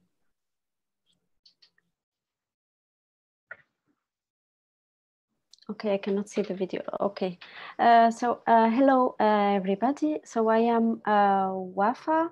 Uh, so I am uh, senior security researcher at Thales SIX GTS France, and I am presenting the resilience here in smart factory, in particular the level two security package in Collabs. That is, I mean, the scope, let's say, of work package three. Then after that, I will uh, present, uh, I will uh, give a brief overview of the level two secure package Collabs and the high level also objective. Then after that, I will uh, proceed with the presentation of uh, a system that we are uh, currently developing uh, that is uh, integrating both uh, the ledger-based fine-grained authorization and the distributed, so it's a distributed ledger with a fine-grained authorization based on attribute-based access control. So for that, I will um, present a brief overview about uh, a crypto system that is the attribute-based encryption and decryption process. So uh, this is a crypto system when you need uh, to uh, generate encrypted uh, data, we proceed with that uh, cryptographic process. Then after that, I will uh, give a presentation uh, about the system description, what are the main actors, and also the main uh, steps of the uh, algorithm. After that, I will uh, highlight or give a summary of the property of the system in terms of authorization, integrity, traceability that are guaranteed by uh, this system. So uh, this is the Collabs. What we see now is the Collabs uh, high-level architecture that is developed uh, in this uh, project, and it uh, actually it's a comprehensive solution, as we uh, might know. So it includes all, I mean, security, three security level from the first level has been uh, initially, I mean, uh, by my uh, colleague. So it's about the hardware enabled and device level security mechanism and the scope of this level two is actually a level uh, is security using device to device distributed uh, ledger. So uh, this is the uh, scope of uh, the how and how to guarantee, I mean, uh, with this mechanism, how we could guarantee resilience in smart factory. Then after that, I am, when we say uh, level two security, uh, we are wondering about uh, what are what is about level two security. So this level two actually it corresponds to all the information exchanged among devices within the smart factory. So for that, we use first, I mean, we leverage uh, the use of secure distributed blockchains that enhance uh, the availability of the security uh, component. And also they provide uh, the traceability, provide also uh, the non-repudiation in order to ensure trust and inter-device uh, collaboration. Then the second, uh, I mean, uh, level, we uh, leverage also a comprehensive and decentralized access control. So we adopt here a decentralized access control scheme to ensure that all the data that is uh, produced and all the action that are, uh, I mean, uh, produced, also the data produced from the connected object and all the action on this connected object are, I mean, are granted access using an access control policy. So all these within the smart uh, factory. And for that, we use a fine-grained authorization uh, scheme that is based, I will um, uh, describe it later, that is based on uh, attribute-based uh, access uh, control. Then after that, we leverage also a ledger-based public key infrastructure to guarantee that all the communication channels are secured with respect to authenticity, integrity, and confidentiality. Then uh, the fourth uh, I mean, uh, key, uh, let's say, element of uh, level two uh, security package is to provide, uh, let's say, um, mechanism for data sensitivity, in particular using uh, or identifying uh, with uh, using machine learning based confidential uh, data discovery. So uh, before I mean describing the system, it will be uh, important to introduce you uh, the, uh, the concept of uh, attribute-based encryption and uh, decryption. So let us, uh, we have here in this figure two, I mean, two actors. The key authority here is referred to key management server or the sensor owner. And we have here two uh, sensors. The key owner, I mean, its role here is to generate specific attribute-based encryption keys for these two uh, sensors. So sensor A here is uh, dedicated for, I mean, when you see beta and unclassified are the attributes. So sensor A here is dedicated for beta operation and collects unclassified, let's say, data. This is one scenario. Then sensor B, uh, let's say here, is dedicated for an operation called alpha, and it collects secret data. So in order to generate a key for sensor A and sensor B, so the encryption key here will be generated for sensor A using the attributes uh, of beta and unclassified. The secret uh, key or the encryption key also for sensor B is generated with the attributes alpha and secret. So when we have the encrypted key for both sensor A and sensor B, then they can for sure encrypt using these generated encrypted uh, keys. So the data that is encrypted with these keys can only be decrypted by a key that have uh, with an access policy that uh, with an access policy that uh, is satisfied by a set of attributes. And this, um, I mean, in order to clarify this, let us introduce, uh, I mean, a concept uh, that is called a policy, access control policy. It's actually, uh, this is a tree that we saw here on the right, let's say right uh, uh, of this uh, figure. So we, it's a combination of different attributes that are necessary to decrypt a message.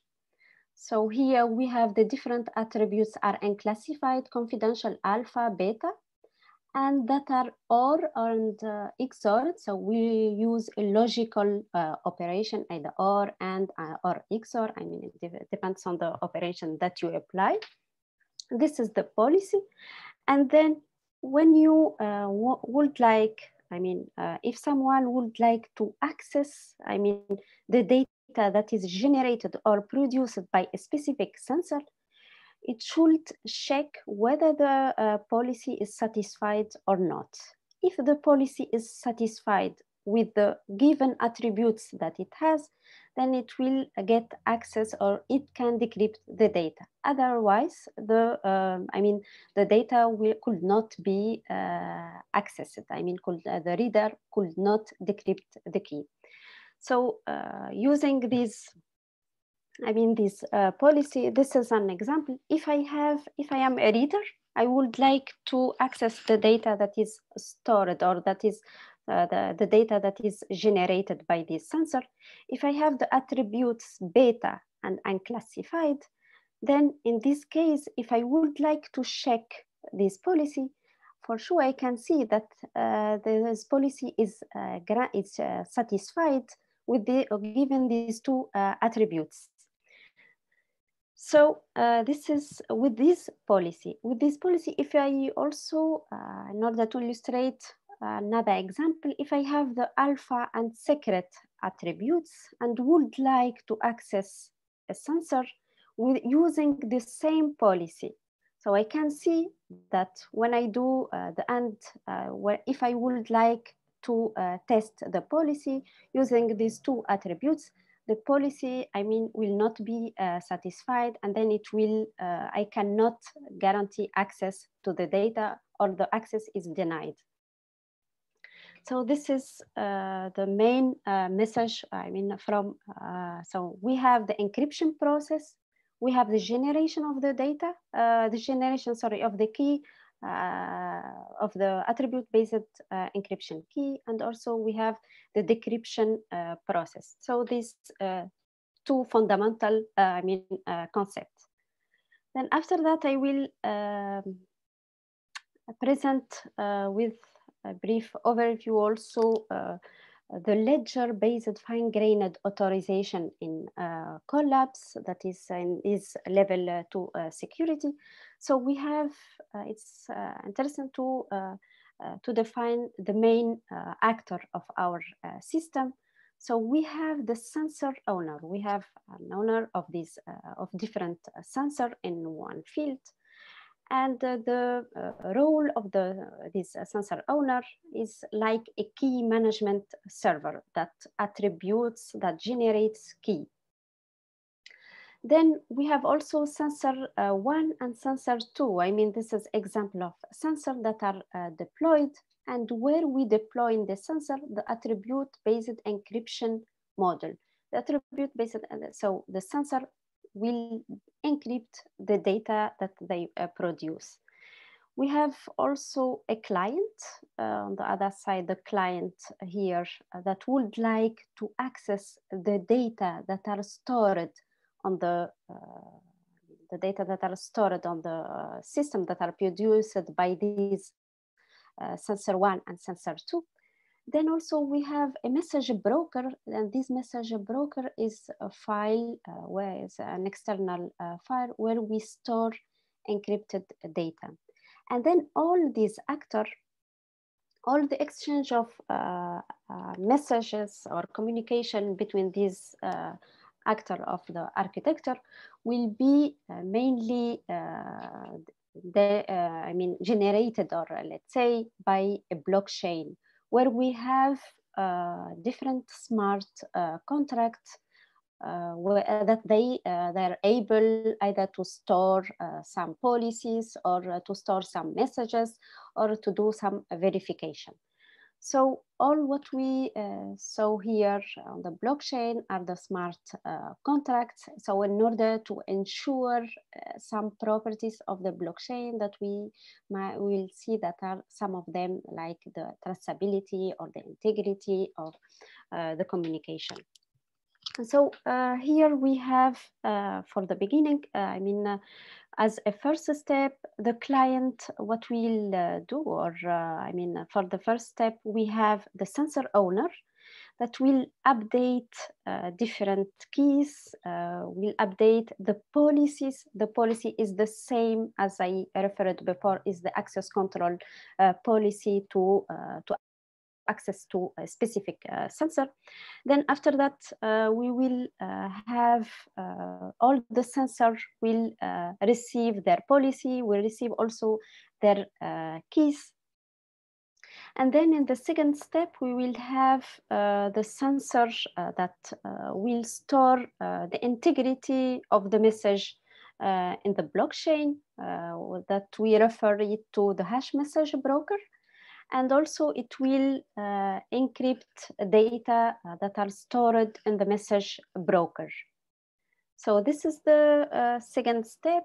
Then comes for the IoT certification authority that needs to, uh, to do a check whether uh, to, uh, to check the identity of the sensor that is stored, I mean, that's stored uh, by checking uh, both the message broker and the hash message uh, broker. So for now, everything should work, I mean, correct. And then when a client would like to access uh, the data that is stored in our uh, system, it needs only to download uh, the hash of the uh, from the hash message uh, broker, and also to download also the message that is that is the encrypted message from the message broker. And then after that, we can guarantee the access, I mean, by checking whether we can guarantee the access to the client or not. So this is, uh, let's say, a uh, high level description uh, what we are uh, currently uh, working and what we uh, achieved in terms of different property of our system. So we provide, so let's say, a decentralized fine-grained authorization framework using the blockchain technology system that provides integrity, provides also traceability. And this distributed ledger of the blockchain, uh, it, it, acts actually as uh, an immutable evidence uh, for all the transaction recorded uh, on it. And also it provides uh, that, let's say, feature in terms of traceability for access control uh, related events, and uh, then our system will ensure also using this ledger uh, based uh, mechanism that all the entities that uh, all the participating uh, entities uh, they it will assure for them that the data stored and cannot be modified cannot be tampered with and thus it will enforce let's say the trust so uh, this is mainly the properties of the system that we um, we are uh, presenting. And uh, yes, and uh, I think uh, this is from my side. And uh, yes, thanks for your attention. Hello? Yes. Thanks. Thanks yes. I hope yes, you can hear me as well. Um, I've just seen Tony posted a question. I think this is a generic one to Collabs, I think. Would it be okay, Tony, when we push this to the end, when we have the okay. uh, and then you get also the opportunity to see what is developed and how that can be distributed. Maybe that's already going in some uh, kind of direction you're you're asking. So, okay, thanks. So maybe then let me briefly continue with giving you let me share my screen. Uh, also the overview about level three security package. I hope you can see it already. Uh, what is this all about? Let me mouse pointer and then we can get started.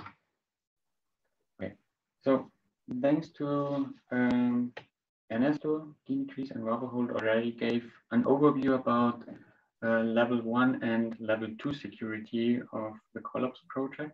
And this is basically when we just map it to the architecture of an industrial site.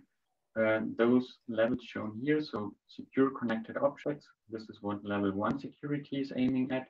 And uh, resilience and smart factory, this is just what um, Wafa pointed out and described the technologies developed in this regard. What we have in addition with level three security are technologies coming in also, of course, building upon level one and level two, but trying to address also the upper layers of the Purdue architecture of a typical industrial site. Um, the level three is handled, level three security package, I have to say, is handled in work package two of the Collabs uh, project. And um, in total, we are having six different tasks focusing on different areas of expertise and technologies that will be developed. For the sake of time, please allow me to not uh, make a deep dive into each and every task, but uh, I will rather consolidate it and describe the three main um, streams that are developed in this regard and pick out one in the end, which is also then later on shown in the demonstrator session. So basically, when talking about level three security, you're having a stream which is so to say called secure data sharing. So across all the different layers of the Purdue architecture, uh, in order to support collaborative and distributed um, processing of data and really working together collaboratively. We also have several tasks uh, working on a stream on machine and deep learning based approaches. For example, to identify anomalies that are going on on the network level or um, is, is there any question? Sorry. Um, sorry. And then uh, machine learning based approaches. So a lot of activities are going on and I will, as mentioned, also pick out one sample component that is developed in this regard, where later on uh, a small demo will be shown as well. And last but not least, we have the so-called workflow-driven security framework. And this is going up to the business process layer or application layer, uh, which is needed to define and implement collaboration across organizations. Um, I will come to that point in, in a second. But maybe let's go through each and every stream step by step and show you how that maps to the layers of the Purdue architecture and also what we are doing in this regard and how far we got. As Srdjan mentioned in the beginning of the presentation or of today's workshop, that we, so to say, reached one third of the duration of the Collabs project. Lots of deliverables, lots of work has already been done, but I can also give you a brief outlook of what is happening. So let's start with secure data sharing, which is basically about um, having a look at what kind of data will be collected and processed and also distributed across the different layers of a network architecture or of a company's architecture. So the focus is on trustworthiness of data flow and collaborative manufacturing.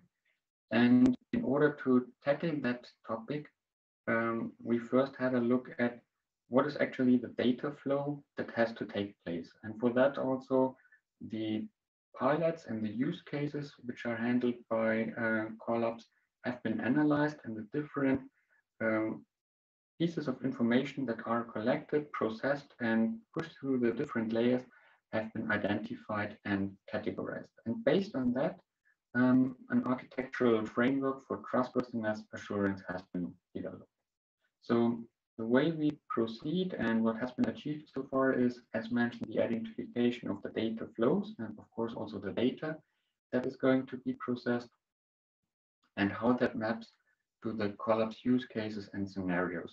So the uh, three different use case providers with uh, that Srdjan introduced in the beginning, having different but also um, yeah reoccurring scenarios like, for example, remote maintenance or data processing in the cloud, for example. And because of that, really, uh, all the layers, so this is a good example of a stream where all the layers of a company's network structure have to be addressed and data has to flow across all of these layers before it's in the end, in extreme case, processed, getting processed in the cloud.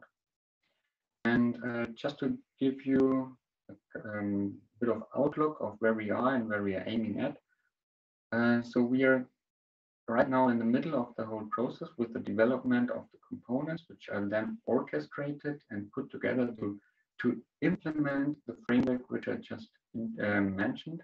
And um, over the time, both the framework needs to be up or will be updated, and also, of course, the components will get more and more mature so that we also reach a level uh, where uh, the components can be used for prototypical or first on-site deployments also in the context of the collaborate uh, of the Collabs use case. So this is one important screen we are handling in level three layer security. Um, the second one, where also uh, a lot of different tasks, you can just see it here, highlighted in brackets, are focusing on. And those tasks are working on machine learning and deep learning based approaches to, for example, identify anomalies in network traffic or in system setups. Um, actually, we have in the stream uh, two main different um, directions. One is focusing on the digital supply network, uh, where really in the end data is collected and processed in the cloud. And there we really have this collaborative, um, yeah, way of interaction where uh, data of one side is processed in the end by another party. And in order to achieve this and also to keep uh, corporate proprietary information still confidential, although it's processed in the cloud, um, approaches like homomorphic encryption are evaluated and trusted execution environments to make sure that only those people that require access or that are the owners of the data can really see the data, the raw data in the end, and that uh, you have full control of your confidential information. Um, on uh, the connected objects level, also a lot of activities are going on. I will come to in a second.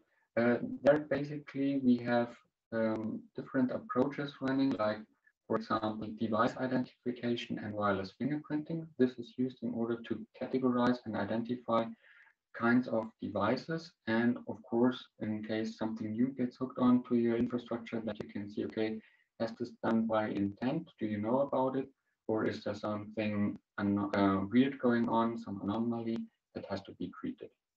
Um, the same also happens on an intrusion detection uh, based approach for industrial IoT, where instead of running or doing the uh, analysis on backend infrastructures, the IDS functionality, so to say, pushed down to the industrial IoT devices and locally analyzed and shared across uh, the IoT devices in a network.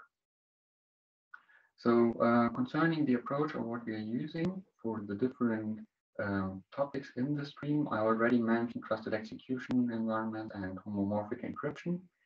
Of course, lots of um, analytics, behavioral, behavioral models have to be um, implemented, designed and implemented, and of course tested and evaluated in the end. And uh, of course, the completely new decentralized architecture, in particular for the um, decentralized IDS approach, have to be uh, designed and implemented.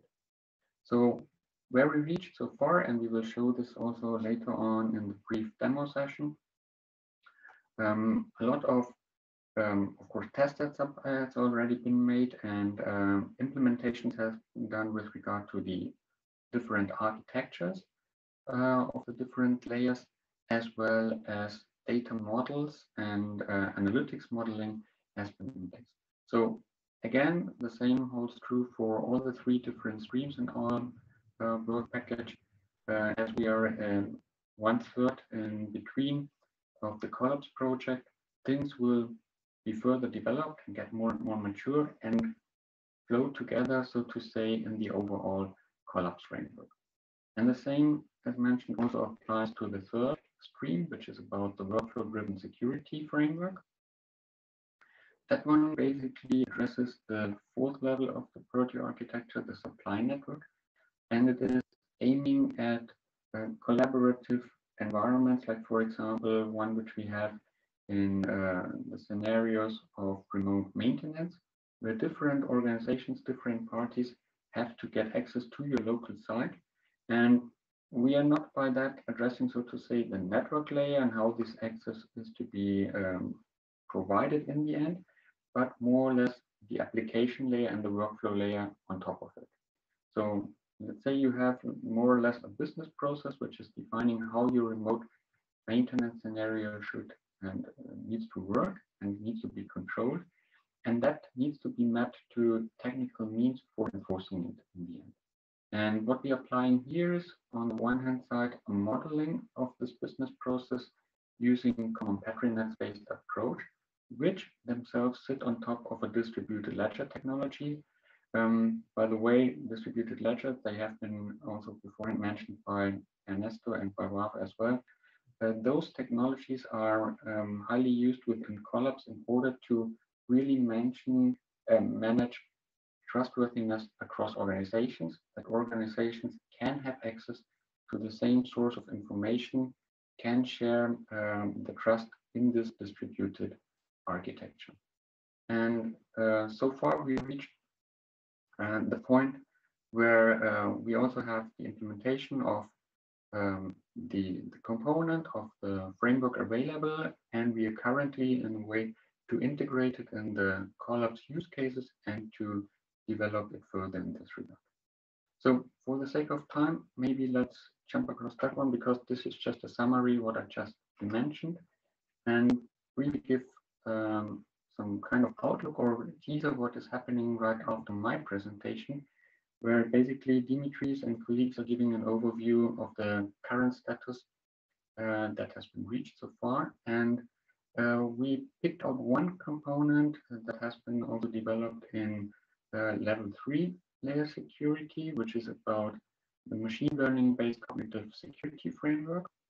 And as I mentioned, this is a machine learning based approach to classify and to detect, or better to say, to identify IoT devices in your network.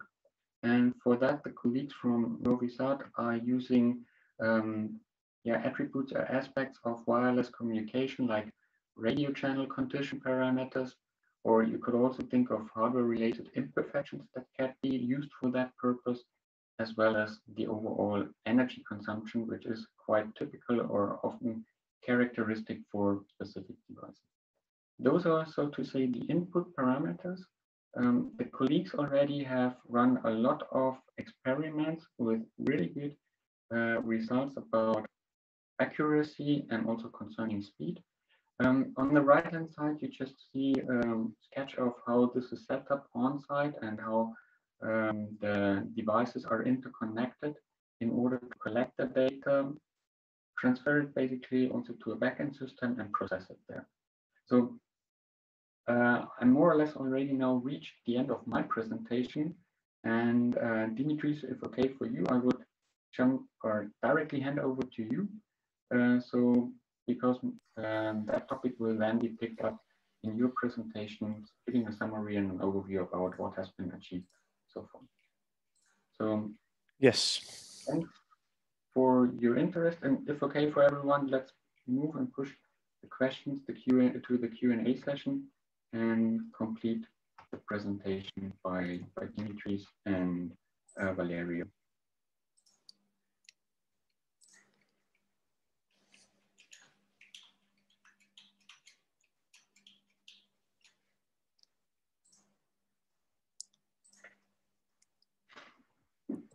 Can you can you please stop sharing so I can uh, start sharing my screen? Thank you. Sorry, no, no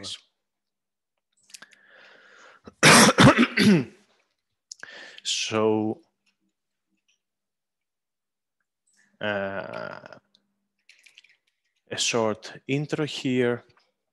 So what uh, the Collabs framework uh, MVP aims are just about the to detect and prevent threats, obviously, as already mentioned, on multiple layers in an industrial uh, environment, uh, ensure the integrity and compliance of data uh, that are uh, communicated and analyzed within the scope of uh, this project, these, these efforts to secure the process, of course, of, of remote maintenance of devices, as well as uh, enhance the security of IIoT, industrial IoT devices.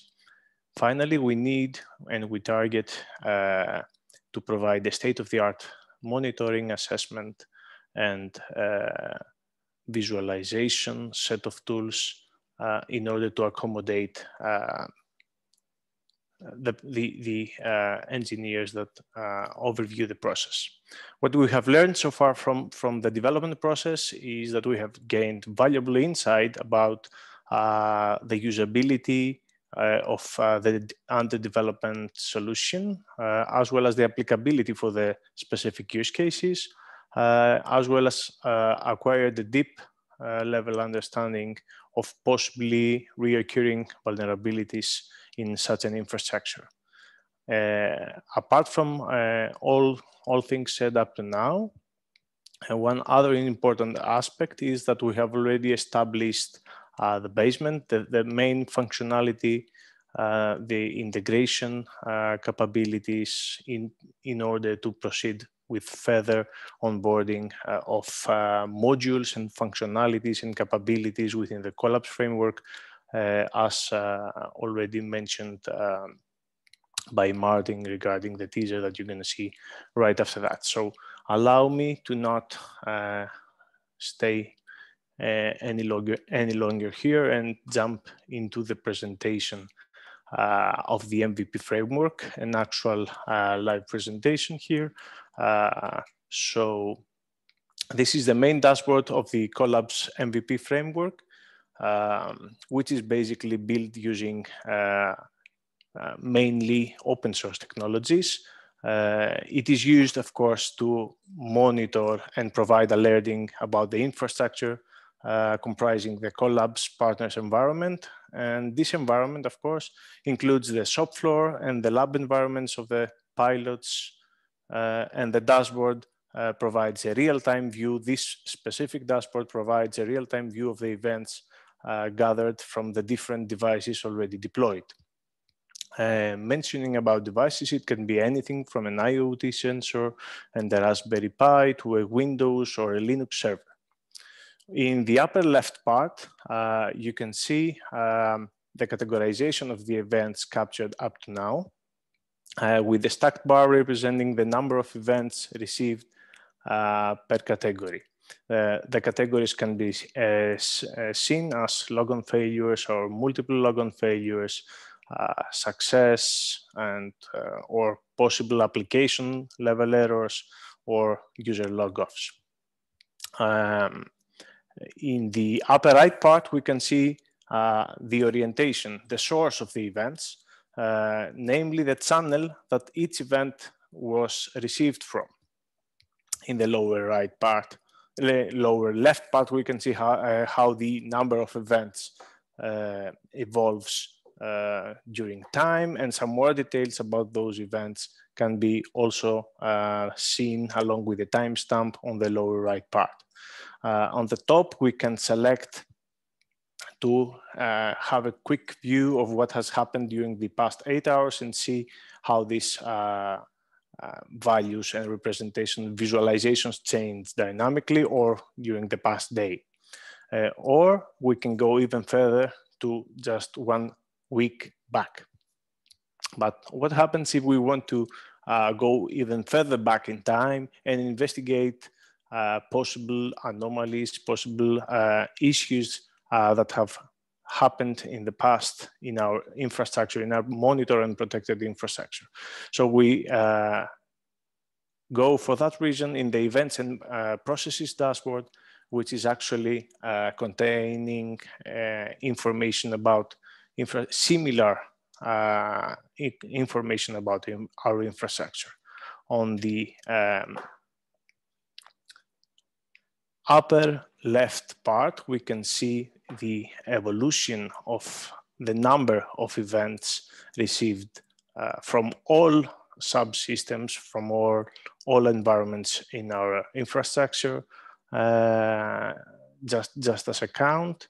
On the upper right part, you can see again categorized uh, in, uh, in, in a segmented way all the different types of events. On the lower left part, uh, you can see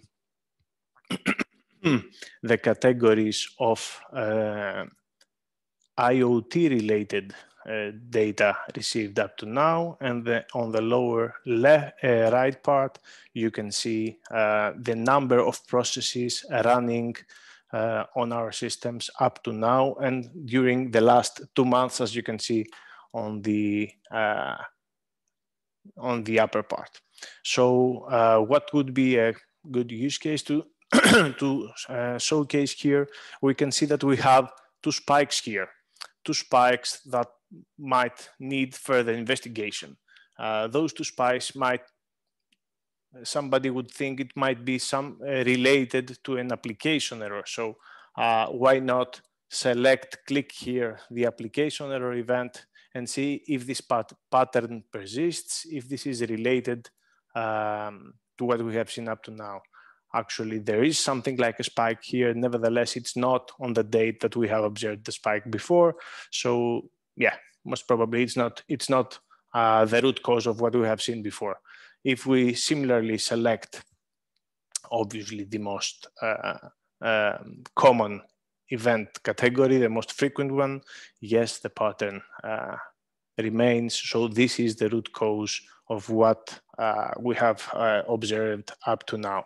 Uh, again, uh, similarly, we can spot anomalies or spikes or uh, similar situations on the lower part regarding the processes, or we can see that we still receive uh, what we expect to receive from our IoT devices on the lower left part. Uh, what if uh, we wanted to go into a deep dive into the details of the events just to uh, allow for even further elaboration and even further investigation uh, of what is available. As uh, you can see, we can also do that. And that's the part that we said it's already a, a good way to start uh, investigating on our infrastructure. We have different indexes uh, providing different capabilities for different sets of data collected.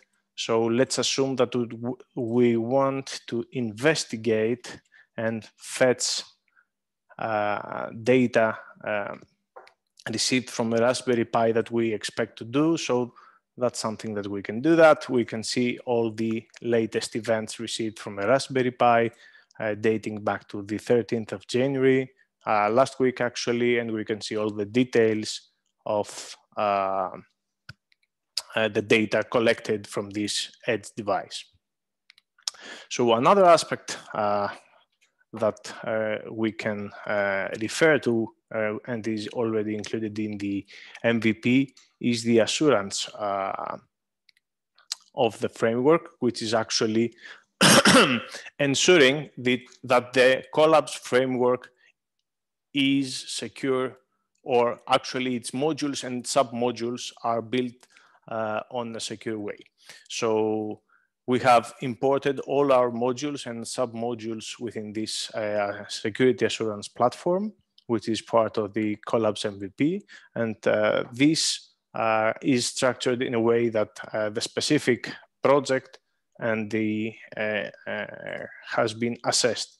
So uh, let's go directly to save some time to the um, assessment results, the MVP assessment results. we can see that a lot of assets, actually 112 assets have been identified as sub-modules within this uh, Collabs framework, uh, assets being anything from, from a piece of software to hardware or even data, as you can see here. And the results of several um, vulnerability assessments is shown on the lower part of this uh, assurance platform. Uh, one complete uh, vulnerability assessment has been conducted uh, and we can see the results here. We have 200 high um, findings, 434 medium findings and 25 low findings.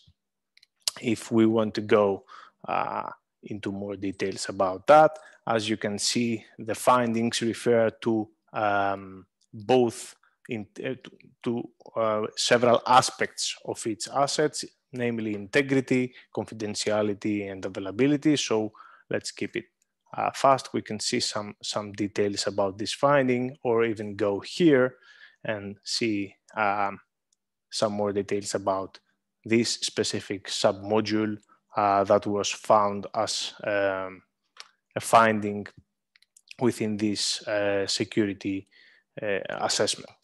So uh, right now, let's go back to the presentation in order to show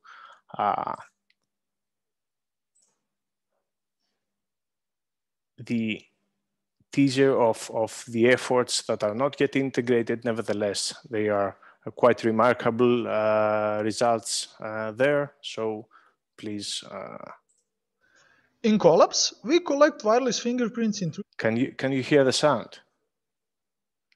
Thank you. That's so that, that's uh, our colleague uh, Milos Radovanovic from uh, the University of Novi Sad. So I shouldn't talk much three different wireless IoT scenarios. First two scenarios are based on Wi-Fi standard, while the third one is based on cellular IoT.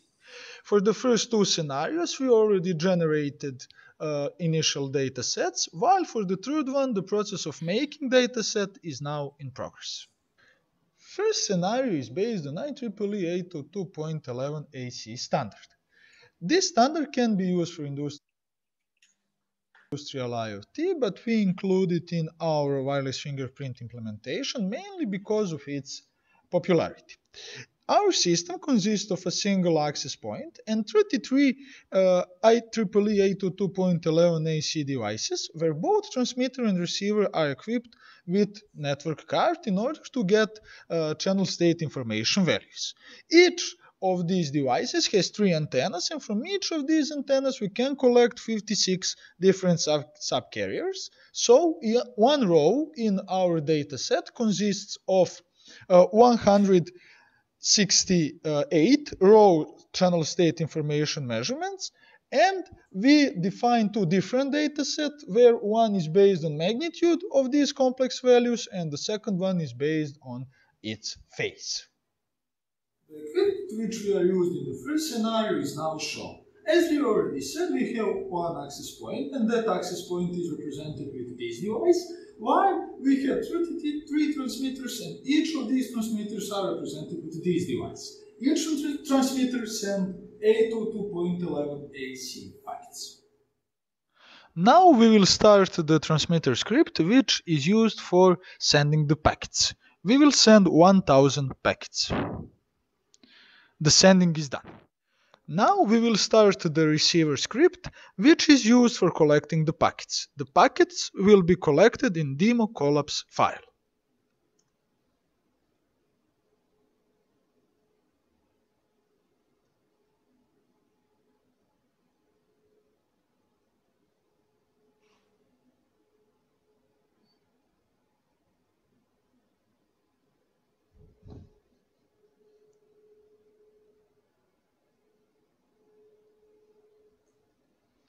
Now the process of receiving the packets is done.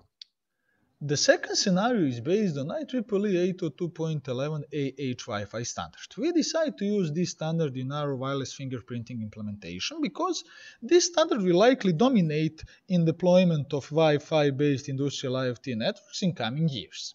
In order to generate a fingerprinting dataset, we use a part of a packet which is always the same, which means that we use a preamble and in order to collect necessary data, we again have the same setup as for the first scenario, which means that we have one access point and 33 IEEE 802.11 AH based devices. From each of these devices, we send 1000 preambles to access point and at the receiver side, we collect the raw data after downsampling and filtering. So our data set consists of approximately 33,000 rows, where one row consists of preamble of received packet. Here we can see the equipment which we are used for the second scenario. In the second scenario, we have IEEE 802.11 AH based devices, so both the access point and the transmitters are represented with USRP B210 software-defined radio platforms which are connected to the PC, both transmitter and receiver. The third scenario is based on a slightly different technology than the first two because in the third scenario we used 3GPP NB-IoT technology. Again, we have 33 NB-IoT based devices which communicate now with mobile operator base station and these base stations are placed around the building. The process of making the third data set is now in progress. In the third scenario, we used our custom design NB-IoT nodes, and such nodes must communicate with mobile operator base station. As we already said, the process of making the third data set is now in progress. In Collabs, we collect in Collabs. we So uh, this is it uh, from my side. Uh, I don't know. I, I, guess all the questions can be addressed within the Q&A section. Uh, and of course, uh, uh, at your disposal.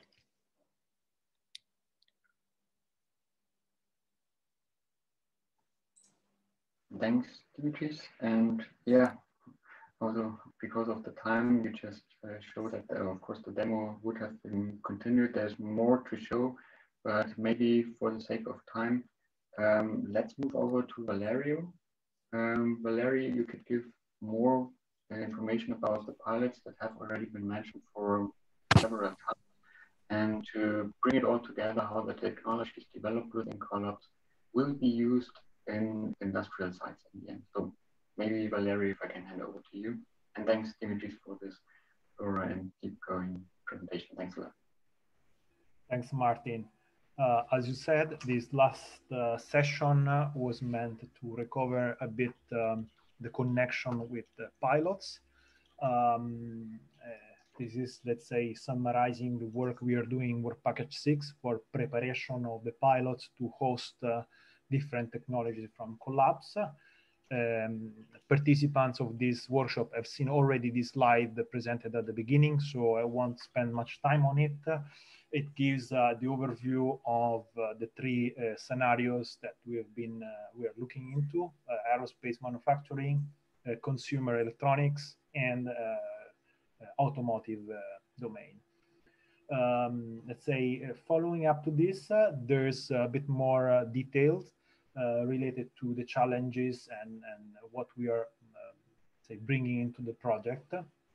This is the scenario uh, coming from Raytheon Technologies and in particular Pratt & Whitney. Um, let's say Pratt & Whitney is a manufacturer of jet engines for civil and defense applications. Um, let's say here you see a high level description of the of a simplified infrastructure with the shop floor layer uh, manufacturing zone uh, in, uh, in charge of coordination and um, let's say operation of all the shop floor machine and the enterprise part, as well as let's say connection to other partners in the supply chain as well as other sites. Um, this is a similar infrastructure that is uh, also in place in other uh, in other pilots where uh, all of the um, scenarios also consider collaboration uh, needs and integration needs. Here we highlight the three challenges. One is uh, remote maintenance. So this is a, a problem that is raising more and more for reduction of cost, reduction of time of reaction, as well as uh, uh, for minimizing the time downtime of the plant there is a need of giving remote access to companies providing uh, maintenance to uh, uh, equipment and, for example, tips that work on materials. Um, clearly, this opening up to this link is very um, challenging in terms of security, and we really want to um, make sure that uh, this connection is as much as possible automated, kept uh, uh, consistently managed in terms of authorization and access control across all devices and all uh, uh infrastructures, and uh, really providing minimal and fine-grained control over what data is accessed, including the fact that we want to protect any IPT, IPC sensitive data that is collected in machines. The other scenario on the left regards the supply chain. As you know, uh, complex systems are uh, developed uh, through collaboration of different companies in the supply chain producing different parts and that are integrated into a single the final product. So uh, as we this, the, the progress to digitalization of the uh, supply chain, uh, all transactions need to be secured and guarantee um, uh, data access only to allowed partners, as well as support uh, um, uh, auditability for any third-party entity that is authorized and in charge of checking that standard compliance is followed in all the, in all the in all the process. So this kind of scenario is very important for us uh, for all the cybersecurity challenge that poses. Final, finally, uh, always related to part, parts compliance, typically when we produce uh, uh, complex parts, um, uh, there is a lot of data uh, coming out of the production process. This data, uh, for example, includes visual visual imaging that support parts inspection. All of this may be processed on a cloud-based environment, and this is not the, the only use case where we involve cloud-based cloud-based architectures, but they pose a, a big risk in terms of access, uh, who has really access to this sensitive data, if uh, data can be, um, is, uh, integrity can be guaranteed and so on. So these are the kind of challenges. Uh, you've seen that there have been uh, presented several technologies that address this, these challenges. Similar, uh, Uh, uh, let's say, similar approach is done for the uh, for the side from the side of Philips. Here I'm, I'm reporting a little bit of, let's say, the uh, information about this uh, use case. Uh, the interest is in, in, protection of machines in the shop floor, which enable continued production and um, availability of, of the plant. Uh, there is a, a, big challenge of integration between the OT and IT world, as you have seen uh, uh, discussed in many points in this workshop. And let's say the main two challenges are really protection uh, by prevention and detection of endpoints from, uh, from threats uh, Uh, in an approach that uh, um, that can be uh, evolved in time, not only in terms of the capability of threat detection and let's say prevention, but as well as in terms of um, uh, how uh, the, the, the, topology of the uh, network infrastructure is evolved in time for all the needs of uh, reorganization of the factory. And the second part, which was touched upon several in several points from the beginning of this workshop, the need of collecting data from production to monitor performance, uh, optimize the process, identify upcoming failures, and all of this uh, data should be collected, uh, maintained uh, securely, as well as provided access to appropriate uh, parties. The third, uh, the third scenario comes from the automotive sector with Renault. Uh, they also are bringing a very complex infrastructure, uh, in allowing uh, factories from all the uh, from from globally Europe uh, to co collaborate and support um, global manufacturing. There are four challenges here that have been brought and are are taken uh, by the consortium. Uh, the first one is, uh, let's say, again, allowing remote maintenance, remote configuration of all the infrastructure in a secure manner. The second challenge pertains to collection of data from all the stages of manufacturing to perform predictive uh, maintenance and uh, optimization. Clearly here, uh, we're, we're touching upon uh, challenges about connectivity, segregation of access, and fine-grained access control. Uh, the third challenge pertains to assets management. Uh, we all know that uh, these big infrastructures uh, are also physically accessed by many persons. Uh, there are continuous um, physical reconfiguration of the network, addition of, let's say, new devices and so being able to continuously manage assets in the network and their security posture, so any vulnerability or any misconfiguration is essential to keep uh, um, the overall infrastructure security up to the standard. the final challenge is about how to enrich uh, low-cost uh, IoT devices and industrial controllers that may be legacy or very low power with uh, capability to perform trusted computations. So we've seen some of these touched upon by Infineon with hardware components, but as well as several other technologies. Another highlight that I wanted to, uh, to give is that uh, in the context of Collab, Collabs, Renault is building up uh, a very uh, large uh, experimentation laboratory for Industry 4.0 cybersecurity. Uh, they identified the location near the Paris, and it's a, a really big, um, big site where not only uh, concept uh, demonstration, but real uh, demonstration can be performed with real industrial machinery. Um, the infrastructure that is being set up is very modern, let's say up to the most recent guidelines and best practices. So this will be uh, besides the other two uh, scenarios uh, from from Philips and Raytheon that are also supporting demonstration, but this, this will be the largest scale uh, demonstration setup for Collabs. So Martin, I think with this, uh, I am happy to end this uh, this slot. Thank you for support. Um, I'm open to any question. Thanks, Valerio. Thanks. I, I think we are good in time, so um, we have some more minutes left now to address any Q, uh, any questions coming up to, as we call it, the Collabs technology. So we had different presentations on different work packages, focusing on components that are developed. We have seen from Dimitris the current state of the implementation and um, the framework that will be built up by these components. And Valerio, thanks to you, who gave an overview of the pilots of where they will be evaluated. Um, I've seen, not sure if I missed anything, but I've seen some questions coming in in parallel on the chat.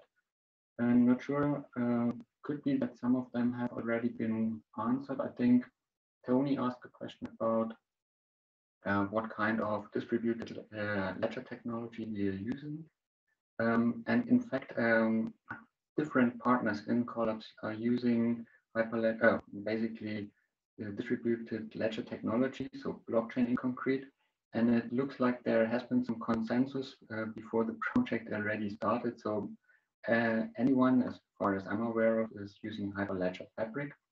Uh, so there is also good compatibility in regard to that platform. Um, but I think uh, Davide already answered that question from um, which kind of technology will be used then. Hello, I'm uh, Ernesto from IFAG, from. Yes, I would please. like to add some detail to the David answer. Mm, we are using to the um, Ethereum virtual machine that is uh, in Hyperledger Fabric is a tool that allows us to work with Hyperledger Fabric like we were using Ethereum to use Solidity. Okay, for the smart contracts. Okay. Hmm. Um, any further questions in particular to DLT, to distributed ledger technology? If not, then maybe any further question that comes in. I think um, there's also been one with regard to what kind of deliver, deliverable will there be in the end from side of Collabs? Not sure if I got that question right. So something uh, going in the direction of would it be code, would it be open source, or is it commercial software? Um, I'm not sure, maybe Tony, that was also from your side, maybe you can repeat it. Um, but maybe in the meantime, what I can tell you is, of course, it's a EU-funded project, so it's a research project. Um, there will be different kinds of deliverables um, due to that, of course, and they will be made public also, of course. Uh, so deliverables means that the technologies, the technology used and implemented, um, so the know-how, so to say, will be made public also based on the different deliverables you can find on the Collabs website. We had just uh, reached more or less one third of the duration of the project. So um, there is, of course, much more to come. And that also means with regard to the software. So of course, we have different owners of the software, of the components that will be developed and evaluated. And I think, Valerio, you already mentioned in the chat, if you're interested in that, uh, always good to reach out to the Collabs team as such. Uh, I think you have shared the information about where to find us uh, on the web or also on Facebook. So if there are any questions with regards to concrete deliverables, whether you want to try out something or whether you also want to join um, and follow the project, please feel free to always reach out um, to us via, for example, LinkedIn or, or Facebook.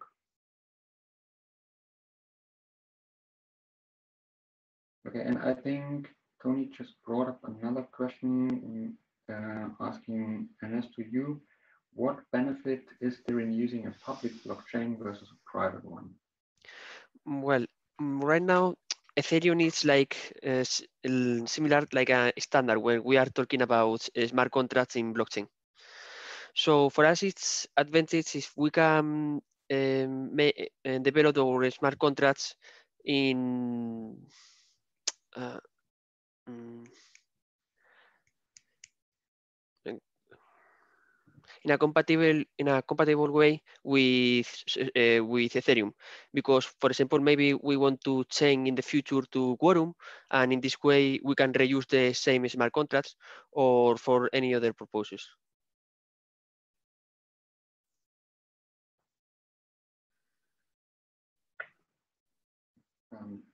I'm not sure, maybe question to you, Valerio. Is it possible for everyone to jump in with questions via um, via voice, via audio as well, or can people uh, from the attendees list only post it to the chat? That's more or less. Martin, thanks. Uh, honestly, there is a bit of um, uncertainty about this uh, from my side. Um, it's it's the first time that I use this uh, Zoom for workshop uh, infrastructure. We've we've done a few trials. Um, but I think that we have two options here. One is to uh, participants for participants to host the to to post the question on the chat or to raise their hand and we can give them uh, let's say uh, the ability to speak and so on so anyone who wants to raise any question please raise your hand or or feel free as as many has done uh, to post the question on the chat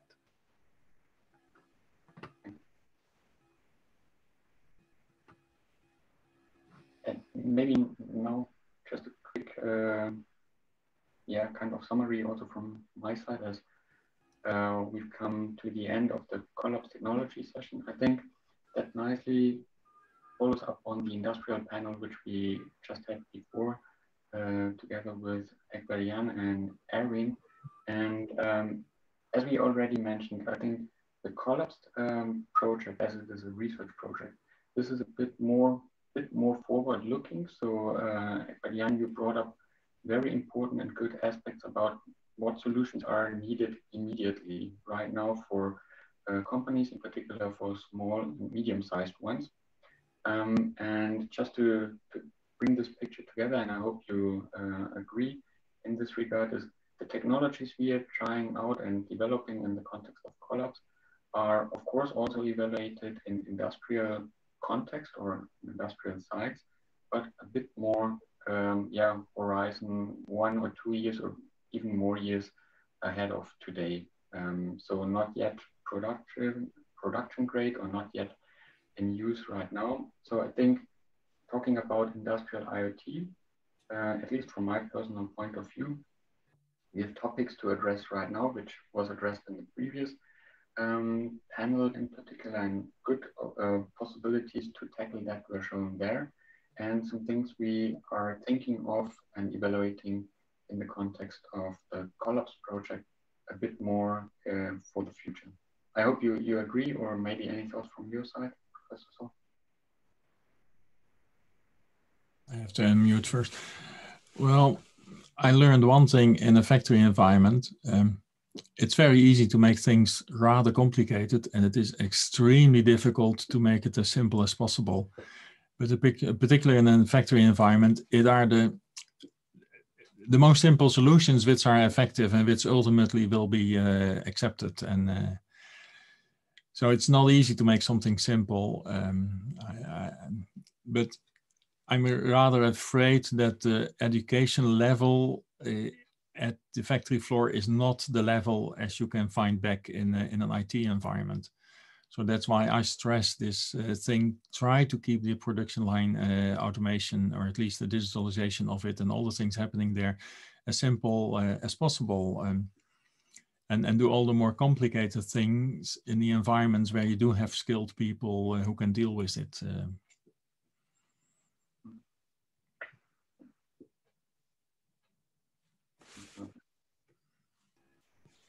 Exactly.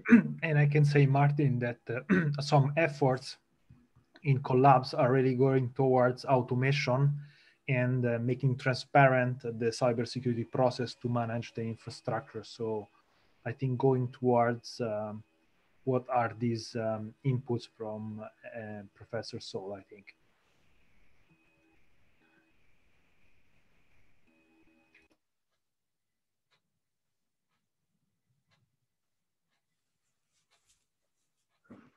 thanks a lot.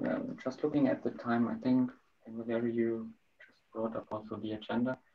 Um, we more or less are already somewhere in the middle of our short break. We have very short breaks, but uh, what are your thoughts, Valerio? Shall we uh, take uh, one very quick one just to get some fresh coffee or uh, uh, to, to make a brief refresh and then get back and continue uh, with the invited talk from side of Matthias. Thanks, Matthias, who will give us then a presentation about the um, SeCollA project, which is closely from the topic point of view uh, related to, to collabs as well. And it's good to get your view and your um, details on your approaches used as well. Valerio, shall we proceed that way and make a quick, maybe a bit more reduced right now? Sure. Yes. Also considering that the last uh, session about the open discussion is a bit free, so um, there will be polls. Uh, people can uh, uh, answer to our questions, and there will be a little bit interactive. So it it also allows us to to to say be more flexible. So yes, maybe one minute and we start.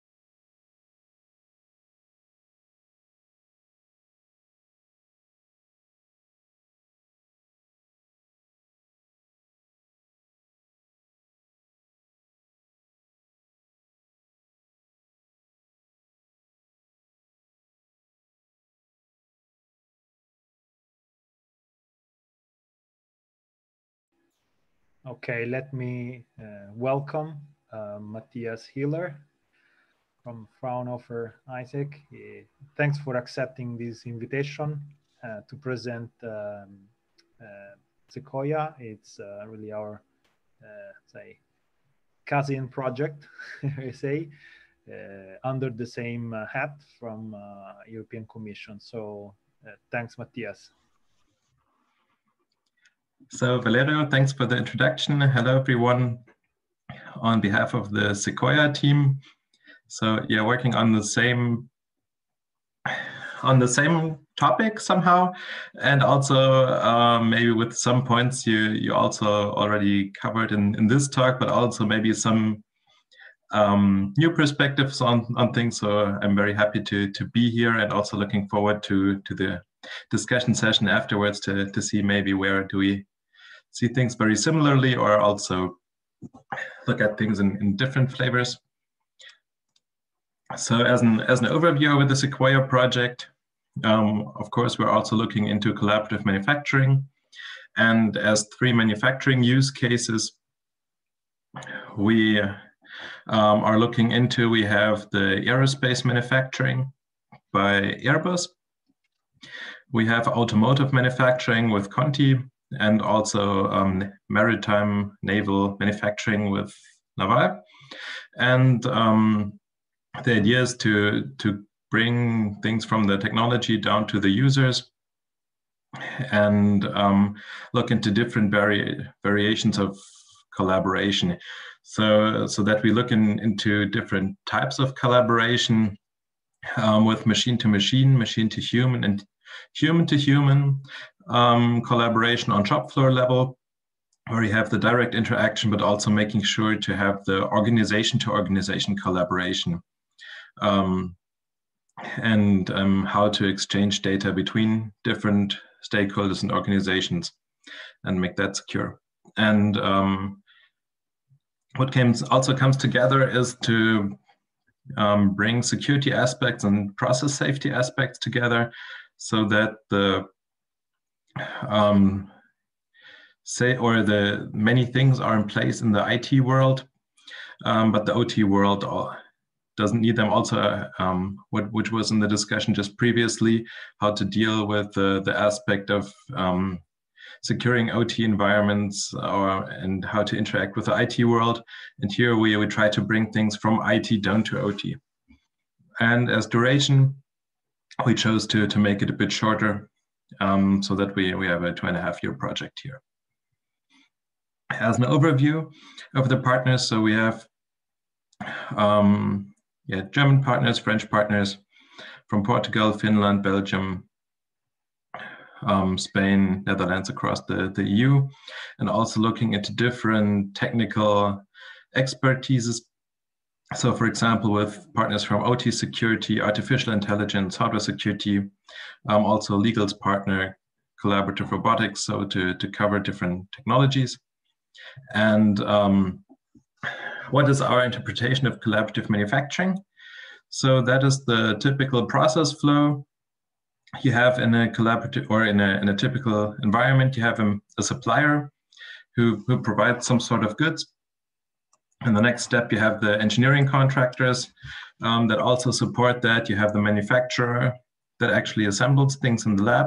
And then you forward the product from the, the manufacturer to the customer and kind of that that's the analog flow and now the idea is to also look into digital twins on the different levels so to um, have digital twins on a machine level and on a product level to make sure that um, yeah, you don't only cover the, the manufacturing chain itself, but also the, the properties of the manufactured products and that the that is grouped under the collaborative manufacturing service provider here in the center. And that this collaborative manufacturing covers several different aspects. And um, that we're looking into the connection between the, the physical and the IT world.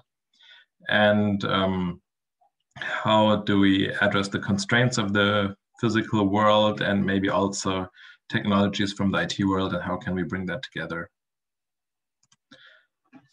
So as um, already on the first slide, uh, we're looking into the different levels of collaboration and their different aspects. So for example, um, where you have specific lightweight aspects on the machine level, also the, the human-machine interaction is challenging or um, on, a, on a human layer, how to, to authenticate pe people, for example, and then also span that from the across the different organizations and bring it from yeah from the abstract process level down to the shop floor. Concerning the use cases, we have three use cases and every use case also is connected with a misuse case. So in aerospace manufacturing, um, the the contact or the the collaborative sites are um, in Tablada, San Pablo, and, San Pablo and Cadiz, so Spanish Airbus factories. And um, here the we have a lot of interaction between industrial control systems and the, the backend system. So, um, for example, the, the RoboShave as a metal processing machine or autoclave as, as large ovens to, to bake parts or, or gap guns as mobile tools. The idea is you have um, the, the industrial environment. Then you have a, a local gateway connected closely to the um, industrial control systems, and then you you go to a more IT-based platform with a, a server somewhere, and then ERP systems, data lakes, and the systems on top. And um, the the misuse cases, for example, one is looking into insider threats, how to insert um, rogue IoT devices, for example, that that will misbehave um, or for example, um, with malware, or also looking into adversarial machine learning, how to the the machine learning and um, attack detection, for example, could be fooled, and um, and always the the different um, topics covered um, are linked with a key capability. So, for example, to maintain the information security, uh, we have a cloud secure cloud manufacturing backbone um, also an OT security operations center, which we are working on so to, to bring the security operations center from the IT world to the OT. And for example, also having ad adversarial and robust AI. Um, in the maritime use case in the factory of Lorient, um, their remote maintenance and remote access is the scenario, and the um, the misuse case is to, to bring in ransomware over this interface into the manufacturing environment so that you have the, the remote monitoring and maintenance and underlying either to, to bring in corrupted devices or also bring in malware. Um,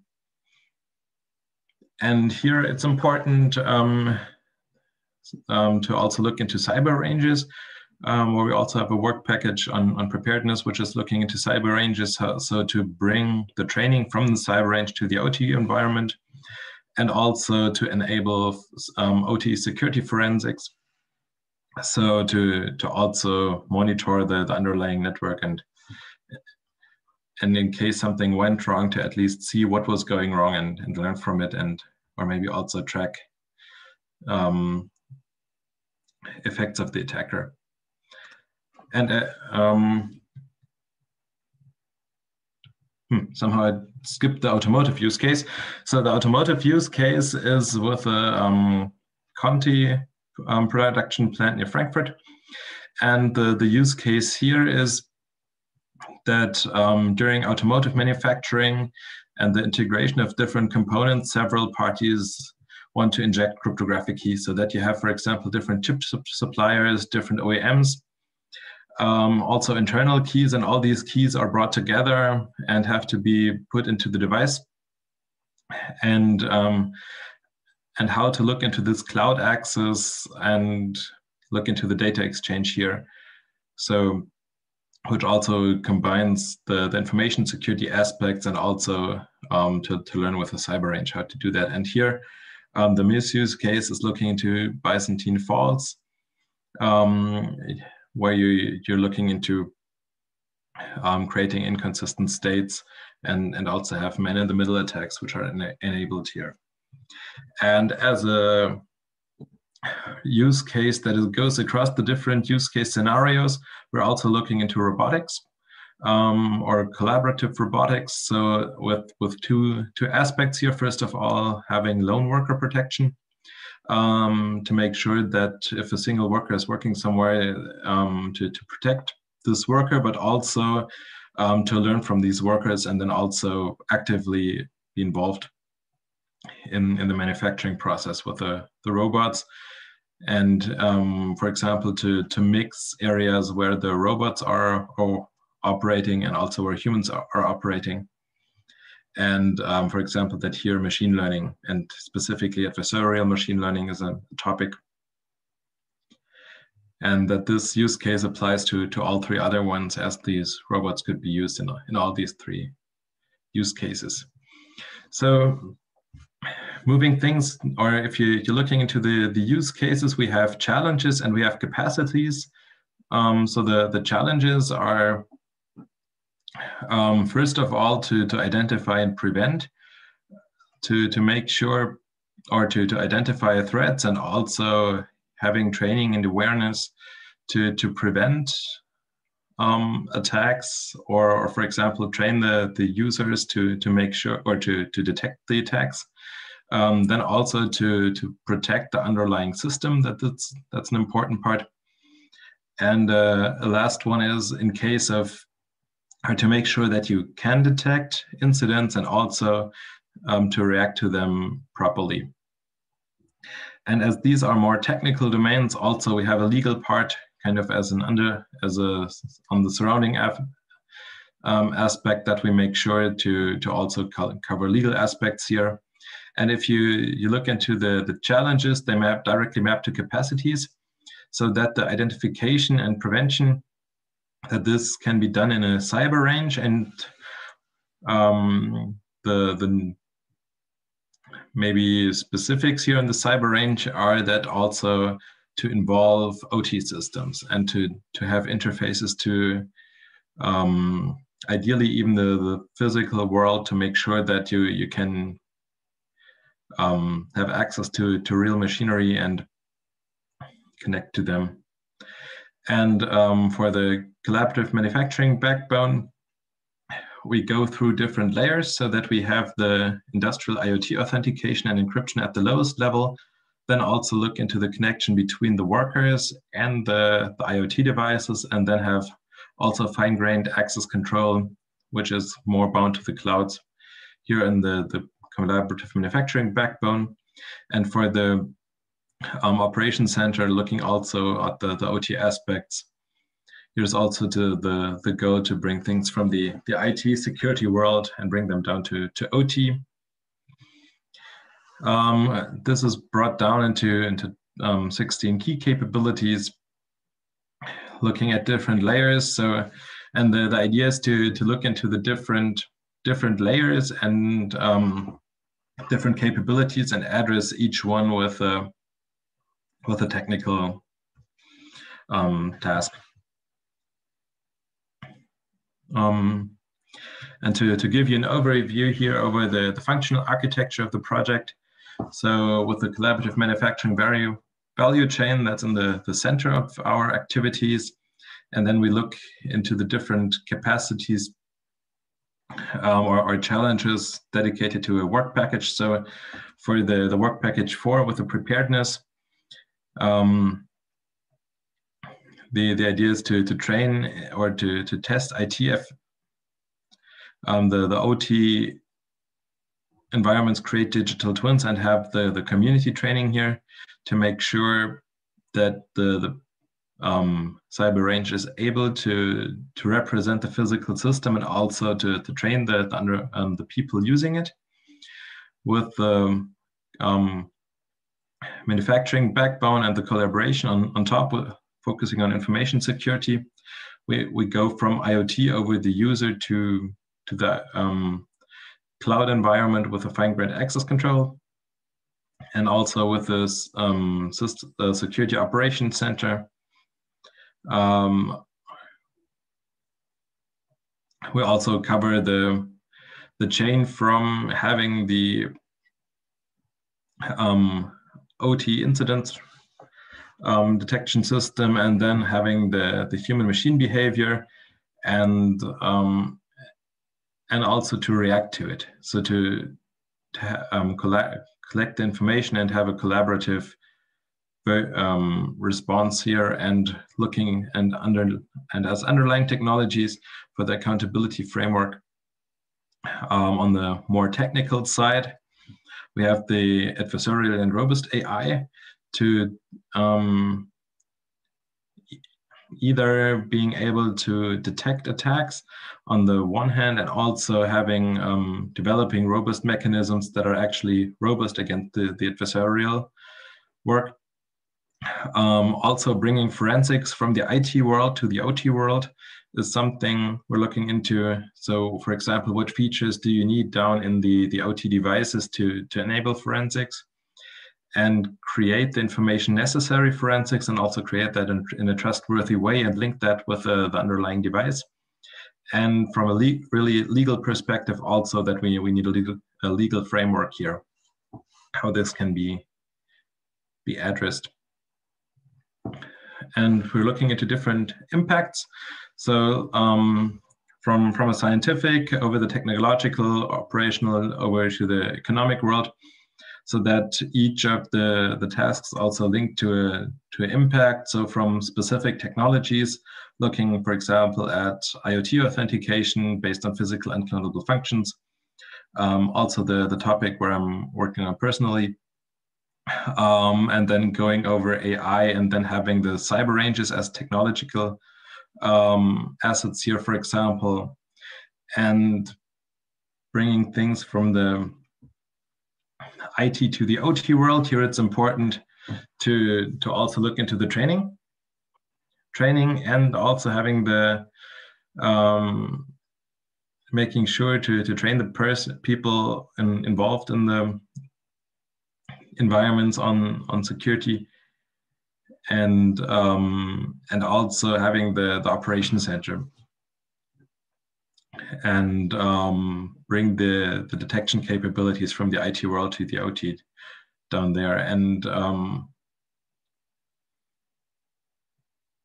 also, for example, if you you need um, the, the framework on the legal side, and then also to to develop business models so that that brings goes over the, the different ways or different dom domains and and how collaborative manufacturing can can impact our um, our industry. As a, as a project schedule, we, we are also, uh, or we started a month earlier, I think, than, than you did. And now we are in a, um,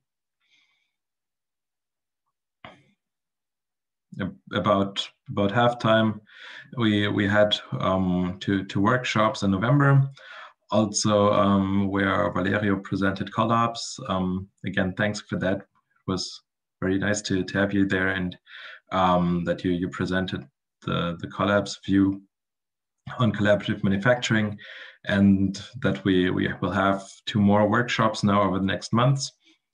And um, kind of right now we are in the development of the technologies and then we'll go to, to validation and bring things into the use cases here and also yeah right now close to a to a um, commission review right now.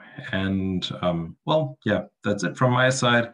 Um, i hope i was able to to give you some additional um, food for thought maybe um, and a second view on collaborative manufacturing and happy to to stay with with you and um, answer questions if you, you have any.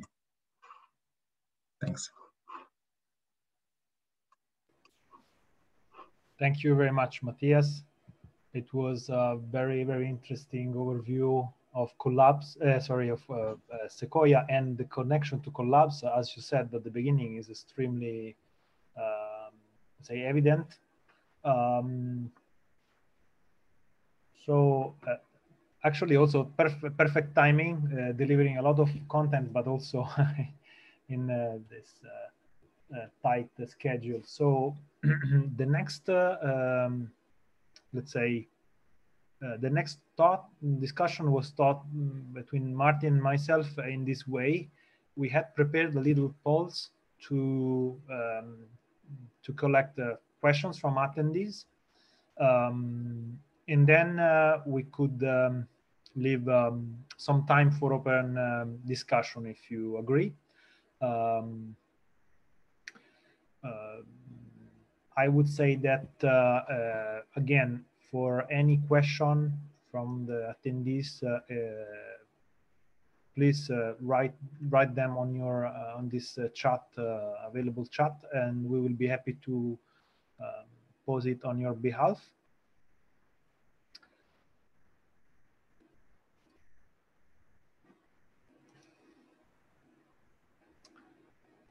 Um, sorry, I wanted to share this presentation. So time for feedback. um, and a little also interactive uh, discussion. Um, so as I said, uh, we've been thinking about four polls uh, just to, to get a grip of uh, background and interest from the audience. Uh, some relevance and prioritization of Collabs challenges. I think this would be a very good ground for uh, shared discussion, Matthias, also with you and on, on, on what SeCollA is considering. Um, then a third poll on preference and prioritization uh, concerning different solutions that we are posing in Collabs uh, at different layers.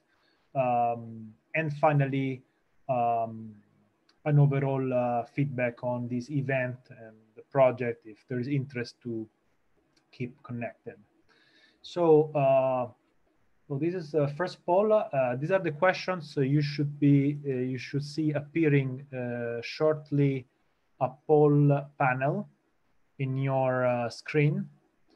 Uh, feel free to answer. Uh, there's uh, questions really ranging from your, your affiliation, fields of interest, um, how did you become aware of ICSAC, uh, and uh, if you know if you knew about the collabs project before or not uh, this all of this will give us um, really a better grip on who you are like a driver license or identity card from uh, this uh, this attendance uh, list. I see already some results. At the end of the poll, uh, we will be happy to share with you also uh, the results of uh, of the voting, um, so that we also you also get a grip of of who is also attending to this this poll and this event. Um,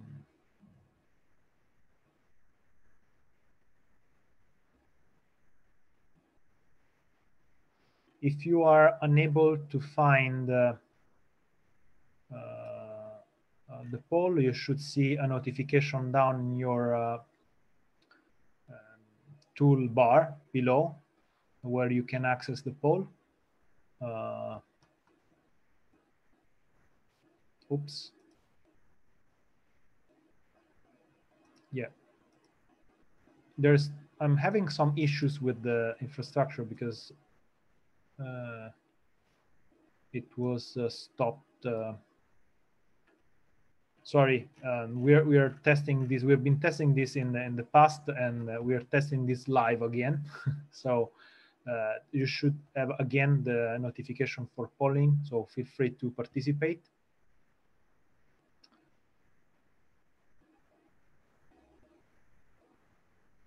Uh, okay.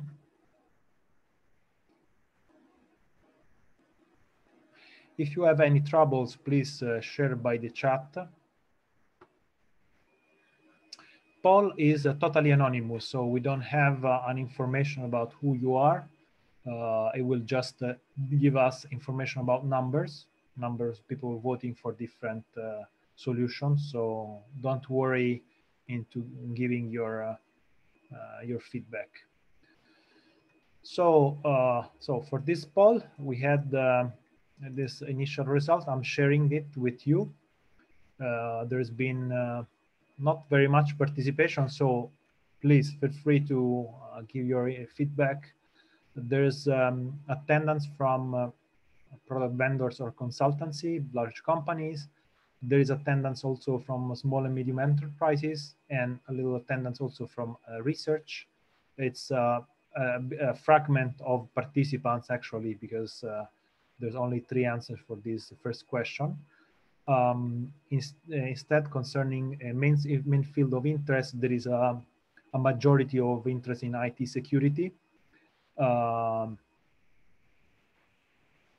uh, okay and um, there's uh, um, some interest uh, so yeah most uh, people uh, became aware of ICSAC uh, uh, from agenda, the HiPEAC agenda and some of them from Collab's website and advertisement we did in the in the social media. Um, we are happy to find out that this workshop was helpy was help, help, helpful to uh, get more people to know about collabs um, uh, because uh, because it's clearly uh, okay. I see some feedback from Ulrich. Uh, not all polls results are correctly presented. Sorry, this is really live live testing this infrastructure. Let's try with the second poll. The second poll will be a bit more about uh, what we present in terms of uh, uh, collabs challenges. So you'll see two questions, uh, launch polling now. Uh, and I'll take a little bit more time for a collection of all the, the, the answers from you. you. You should be able to see this uh, new poll. in this slide, you see the questions.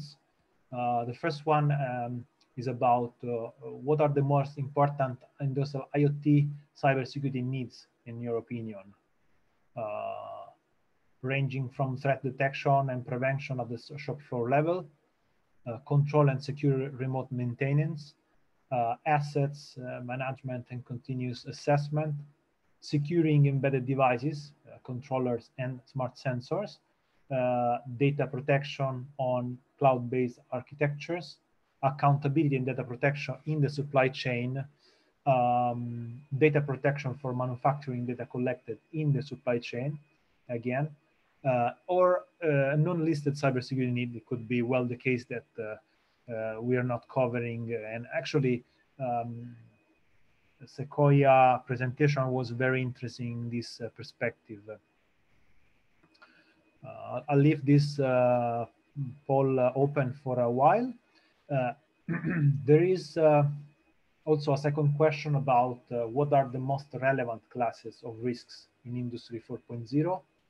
Um, loss of data, lo uh, information disclosure, uh, denial of service or reduction in infrastructure resilience, uh, repudiation or no accountability in transactions, uh, inconsistently managed uh, authorizations and other cyber uh, cybersecurity setting, settings, um, lack of visibility of assets and infrastructure and lack of visibility of assets vulnerabilities.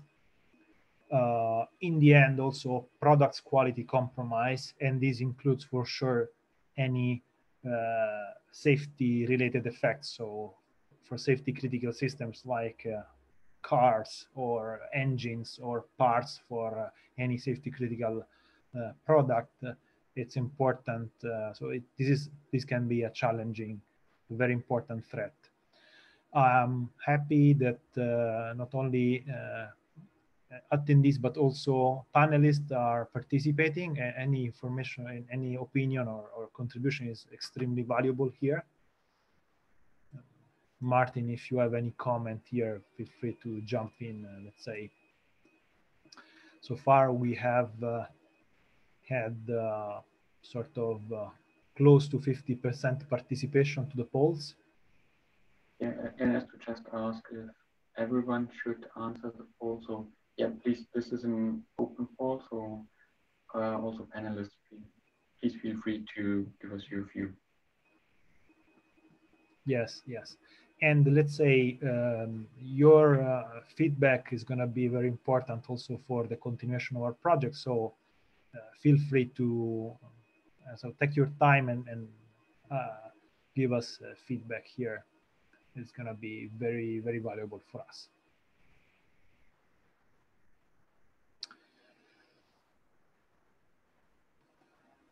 okay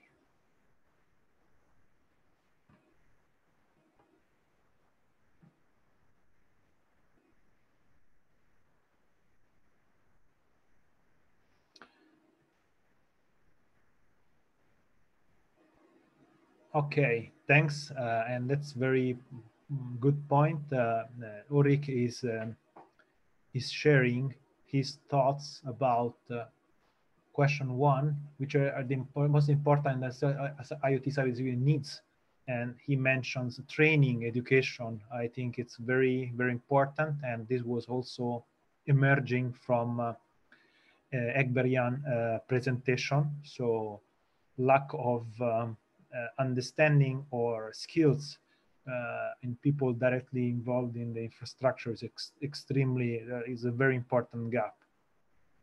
And a second uh, feedback from Ulrich, again, thank, thanks, uh, is, uh,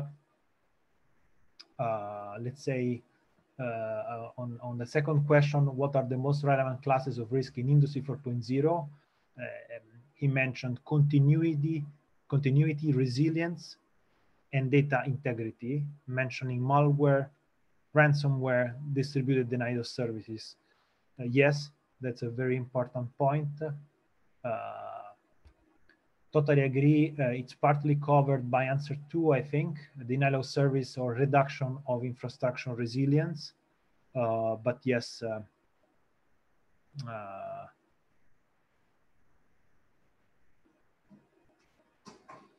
yeah, and Tony is asking us to, uh, to request everyone to share their thoughts to, to the entire chat, not only the panelists. When you send out uh, when you send out a chat, you can select uh, the recipients. So if you choose all panelists and attendees, uh, you will reach everyone in the in the participants. So thanks, thanks, Tony. So uh, let me end this polling session and share with you the results. I think it's uh, very interesting. Uh, what we see is that um, for the first question, there has been uh, a broad coverage of all the topics in the sense that uh, there is no uh, outstanding one uh, with a large advantage. Or of, of course, embedded devices, uh, uh, security embedded devices is one of the important, one of the most important points, together with the threat detection and prevention on the shop floor and data protection in cloud-based architectures uh, we also recognize these as, as very important points uh, and we are uh, working towards uh, uh, addressing these in different scenarios. Uh, Martin, feel free to comment yourself as well as we as we get these results. No, thanks. Um, nothing to add from my side. Basically, it really shows that there is no yeah, um, primus inter pares, so to say, no one that excels, as you just pointed out, but uh, it's really different aspects that need to be handled. This is my kind of summary. Um, in parallel and multiple different aspects have to be, be addressed by projects which we're talking about, be SeCollA or Quant. But that's also very, very helpful for us to get your view on that. And thanks to everyone participating in this forum. Thanks. Yes, concerning the uh, the risks, uh, I think here, Martin, there is a lot of uh, focus on uh, the infrastructure uh, availability. Uh, denial service or reduction of infrastructure resilience is, is, is really the one that has been voted largely more than the others, as well as a loss of confidentiality and information disclosure. This is also a very important topic. So um, again, thank, thanks a lot. Uh, we have um, another couple polls here. Try to go quickly. Uh, here, um, uh, I'm sharing, uh, so you should see the third poll appearing. This is a little bit longer. It goes uh, through uh, different layers of collab solution. there is a device layer, network layer and cloud transaction layer, um, which we call in, uh, in Collabs connected objects, smart factory and digital supply network. Um, um, let's say uh, we are we have organized the, the three uh, so we, we we're asking your feedback on the three layers on, on over three questions. The first question is how much research and innovation do you think is needed at this layer. So how much research and innovation at the device layer, at the network layer, and cloud transaction layer. Uh, this means, let's say, low TRL um, exploration uh, and more innovative solution. The second question that we are asking, how relevant and impactful do you consider uh, collab solutions presented so far? Of course, we haven't presented the whole of it, but let's say some, some uh, selected technologies. Um, uh, how do you consider them impactful uh, so far? Uh, this means that uh, we would like to understand, let's say, at different layers, what do you perceive to be uh, the domain where there could be the highest impact in terms of cybersecurity of the whole collaborative manufacturing infrastructure. The third question that we are asking for all the three layers is how feasible would be the deployment of collab solutions in this layer in existing manufacturing infrastructure? Uh, feasibility or let's say um, complexity uh, of deployment, I think is uh, very a very important point. Clearly, manufacturing infrastructure owners and supply chain operators are very focused on keeping operations and, and, and let's say delivery at the, um, uh, the highest priority. Um, despite that, uh, let's say uh, adoption of cybersecurity measures can be an enabler for, uh, for being ready in the, uh, say, to serve customers in the supply chain. However, it's also uh, an, an investment and we have seen from the invited speaker at the beginning, Professor Egbert-Jan, and, uh, and also the other conversations that we had in the, the event, how expensive or impactful can be this. So uh, understanding feasibility of deployment is a very important aspect for us. Thanks a lot for voting. It's uh, I, I, see there is a lot of participation to this. Uh, 50% of uh, participation so far, uh, and, and I'll be happy to continue uh, to collect your, your inputs. Um,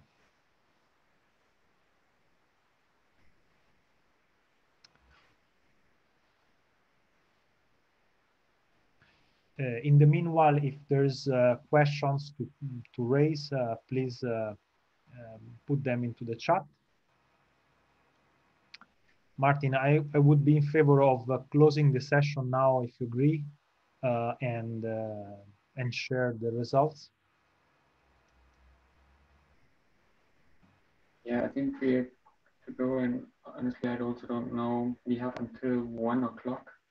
If this is our kind of hard stop, also from the organization point of view, but um, it would be good, Valerio, if we can close it for the moment and maybe if the organization uh, uses still um, the Zoom channel open so far, maybe if there are some more feedback to come in or uh, some more questions, just feel free to use the chat also when this session is closed. Yeah, yeah. And so, uh, Ma Martin, what, what I see from the results is that at the device layer, um, uh, seems to be characterized with a medium, let's say medium to high level of research. So there is perceived the need of innovation and research in this area. Um, uh, and less uh, technology maturation. So probably needs that uh, we are not ready for uh, mature technologies yet. Um, in terms of relevance and impact, uh, is, is there is a perceived very high impact of these uh, layer solutions.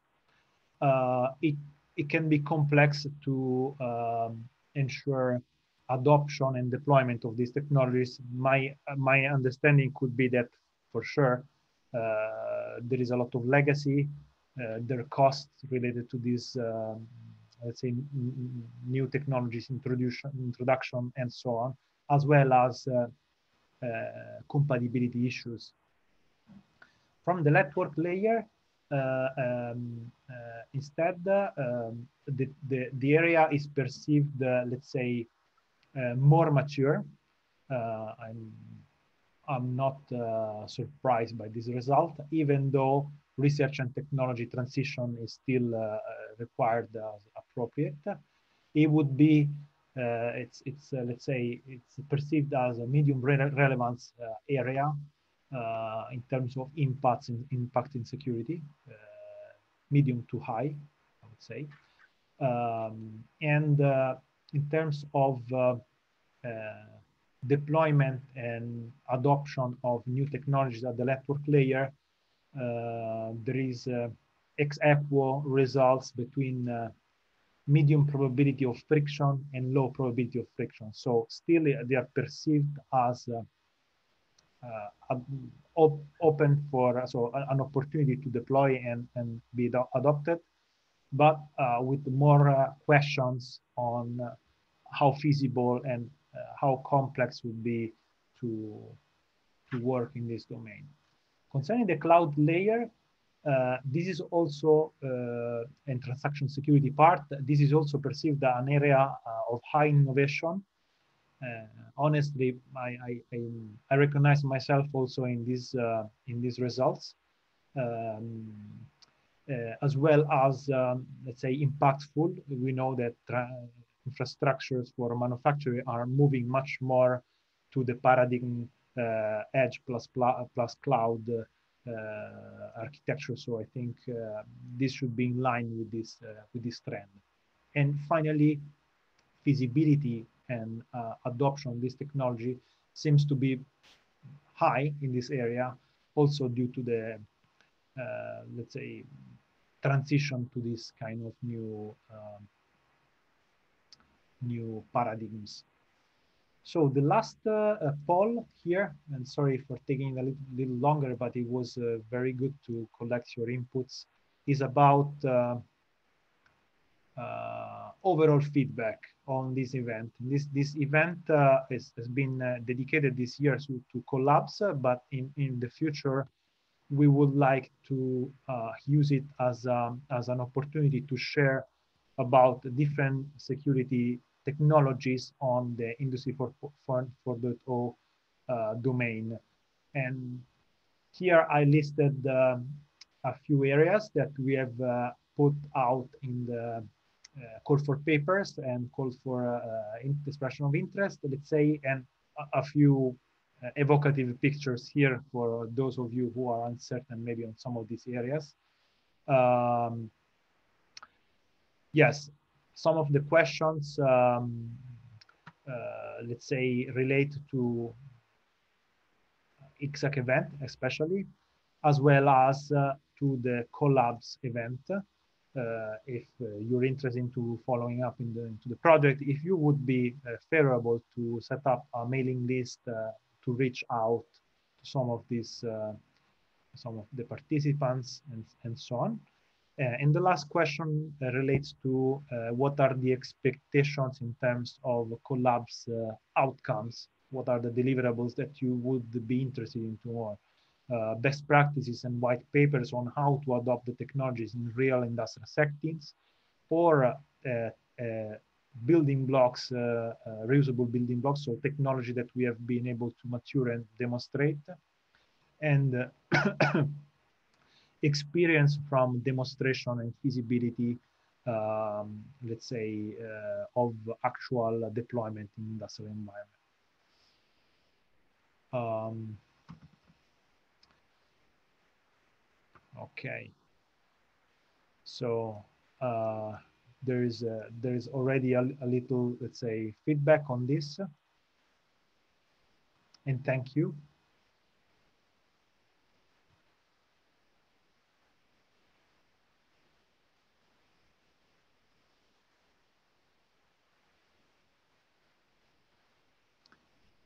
So with this, I think, Martin, we are going to, to the closure of this uh, uh, polling session. Uh, I'll, uh, I'll end this uh, last round of poll, share the results. Thank you um, for uh, positive feedback on the event, as well as in interest in Collabs project results. um, uh, there is a very positive uh, feedback on the opportunity of having a mailing list to inform uh, on, on, on the project results as, as we progress. So I think this is definitely something that we need to take as a homework to do uh, to increase the information shared outside.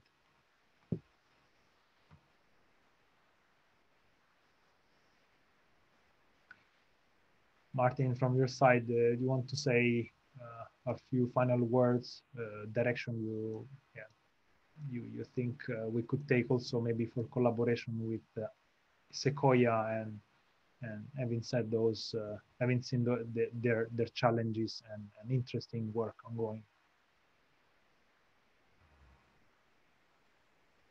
Yeah, I can just um, add to what you said. So I really like today's sessions. You mentioned it was the first time um, the ICSAC workshop was set up, but uh, my personal point of view, uh, just as also someone participating and listening to the other presentations, that was really uh, very helpful also to get the input also, for example, from side of Matthias on SeCollA, what you are doing in um, neighbor project, so to say. And uh, Valerio, as you mentioned, uh, would also be good to keep up um, the exchange in the future.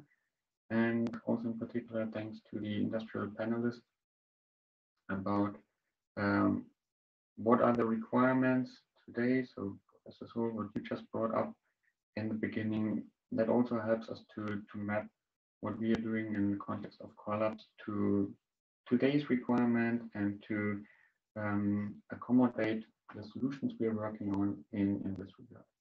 So maybe Valerio, if okay for you, we can still keep it up for some, apart from the poll. And once again, thanks a lot for everyone participating in this poll.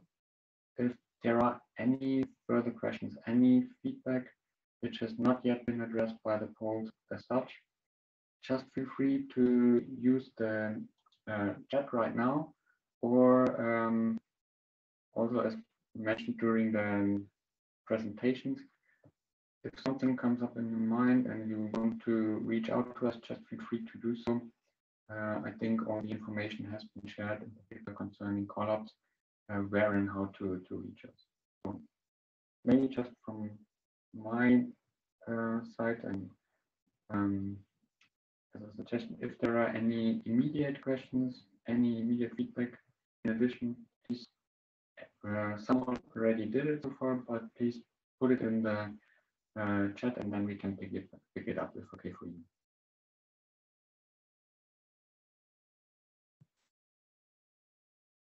Thanks, Martin. Uh, my side also, there is a lot of opportunity to link also to SeCollA. Uh, and um, I'll make sure maybe to set up a more uh, deeper conversation with them. Um, all the conversation related to the different forms of collaboration, it's very interesting as it provides um, a good uh, positioning and uh, mindset to reason on the different uh, aspects of collaboration, which is uh, an enabler, but it is also always an entry point for uh, additional threats. So it um, enlarges the uh, attack surface of an organization. So I think um, this is very this is very interesting domain, um, and um, um, we'll understand with the organizers of uh, HiPEAC if it would be possible to send uh, an, uh, let's say, an email. We won't be, say, won't be, let's say, uh, having uh, participants address, but we can ask the organizers to uh, forward an email to give you the opportunity to keep in touch and if you are interested can can uh, let's express the, the, your your availability to be uh, registered to some form of mailing list to the project. So uh, I'll, I'll, check out what can be done in a privacy sensitive manner uh, with the organizers. and I think this, uh, Martin, this is, uh, closes the session. We've been asked to be uh, quite um, uh, precise with uh, with timing. So thanks a lot for the speakers, to the speakers. Thanks to the participants uh, of this interesting session.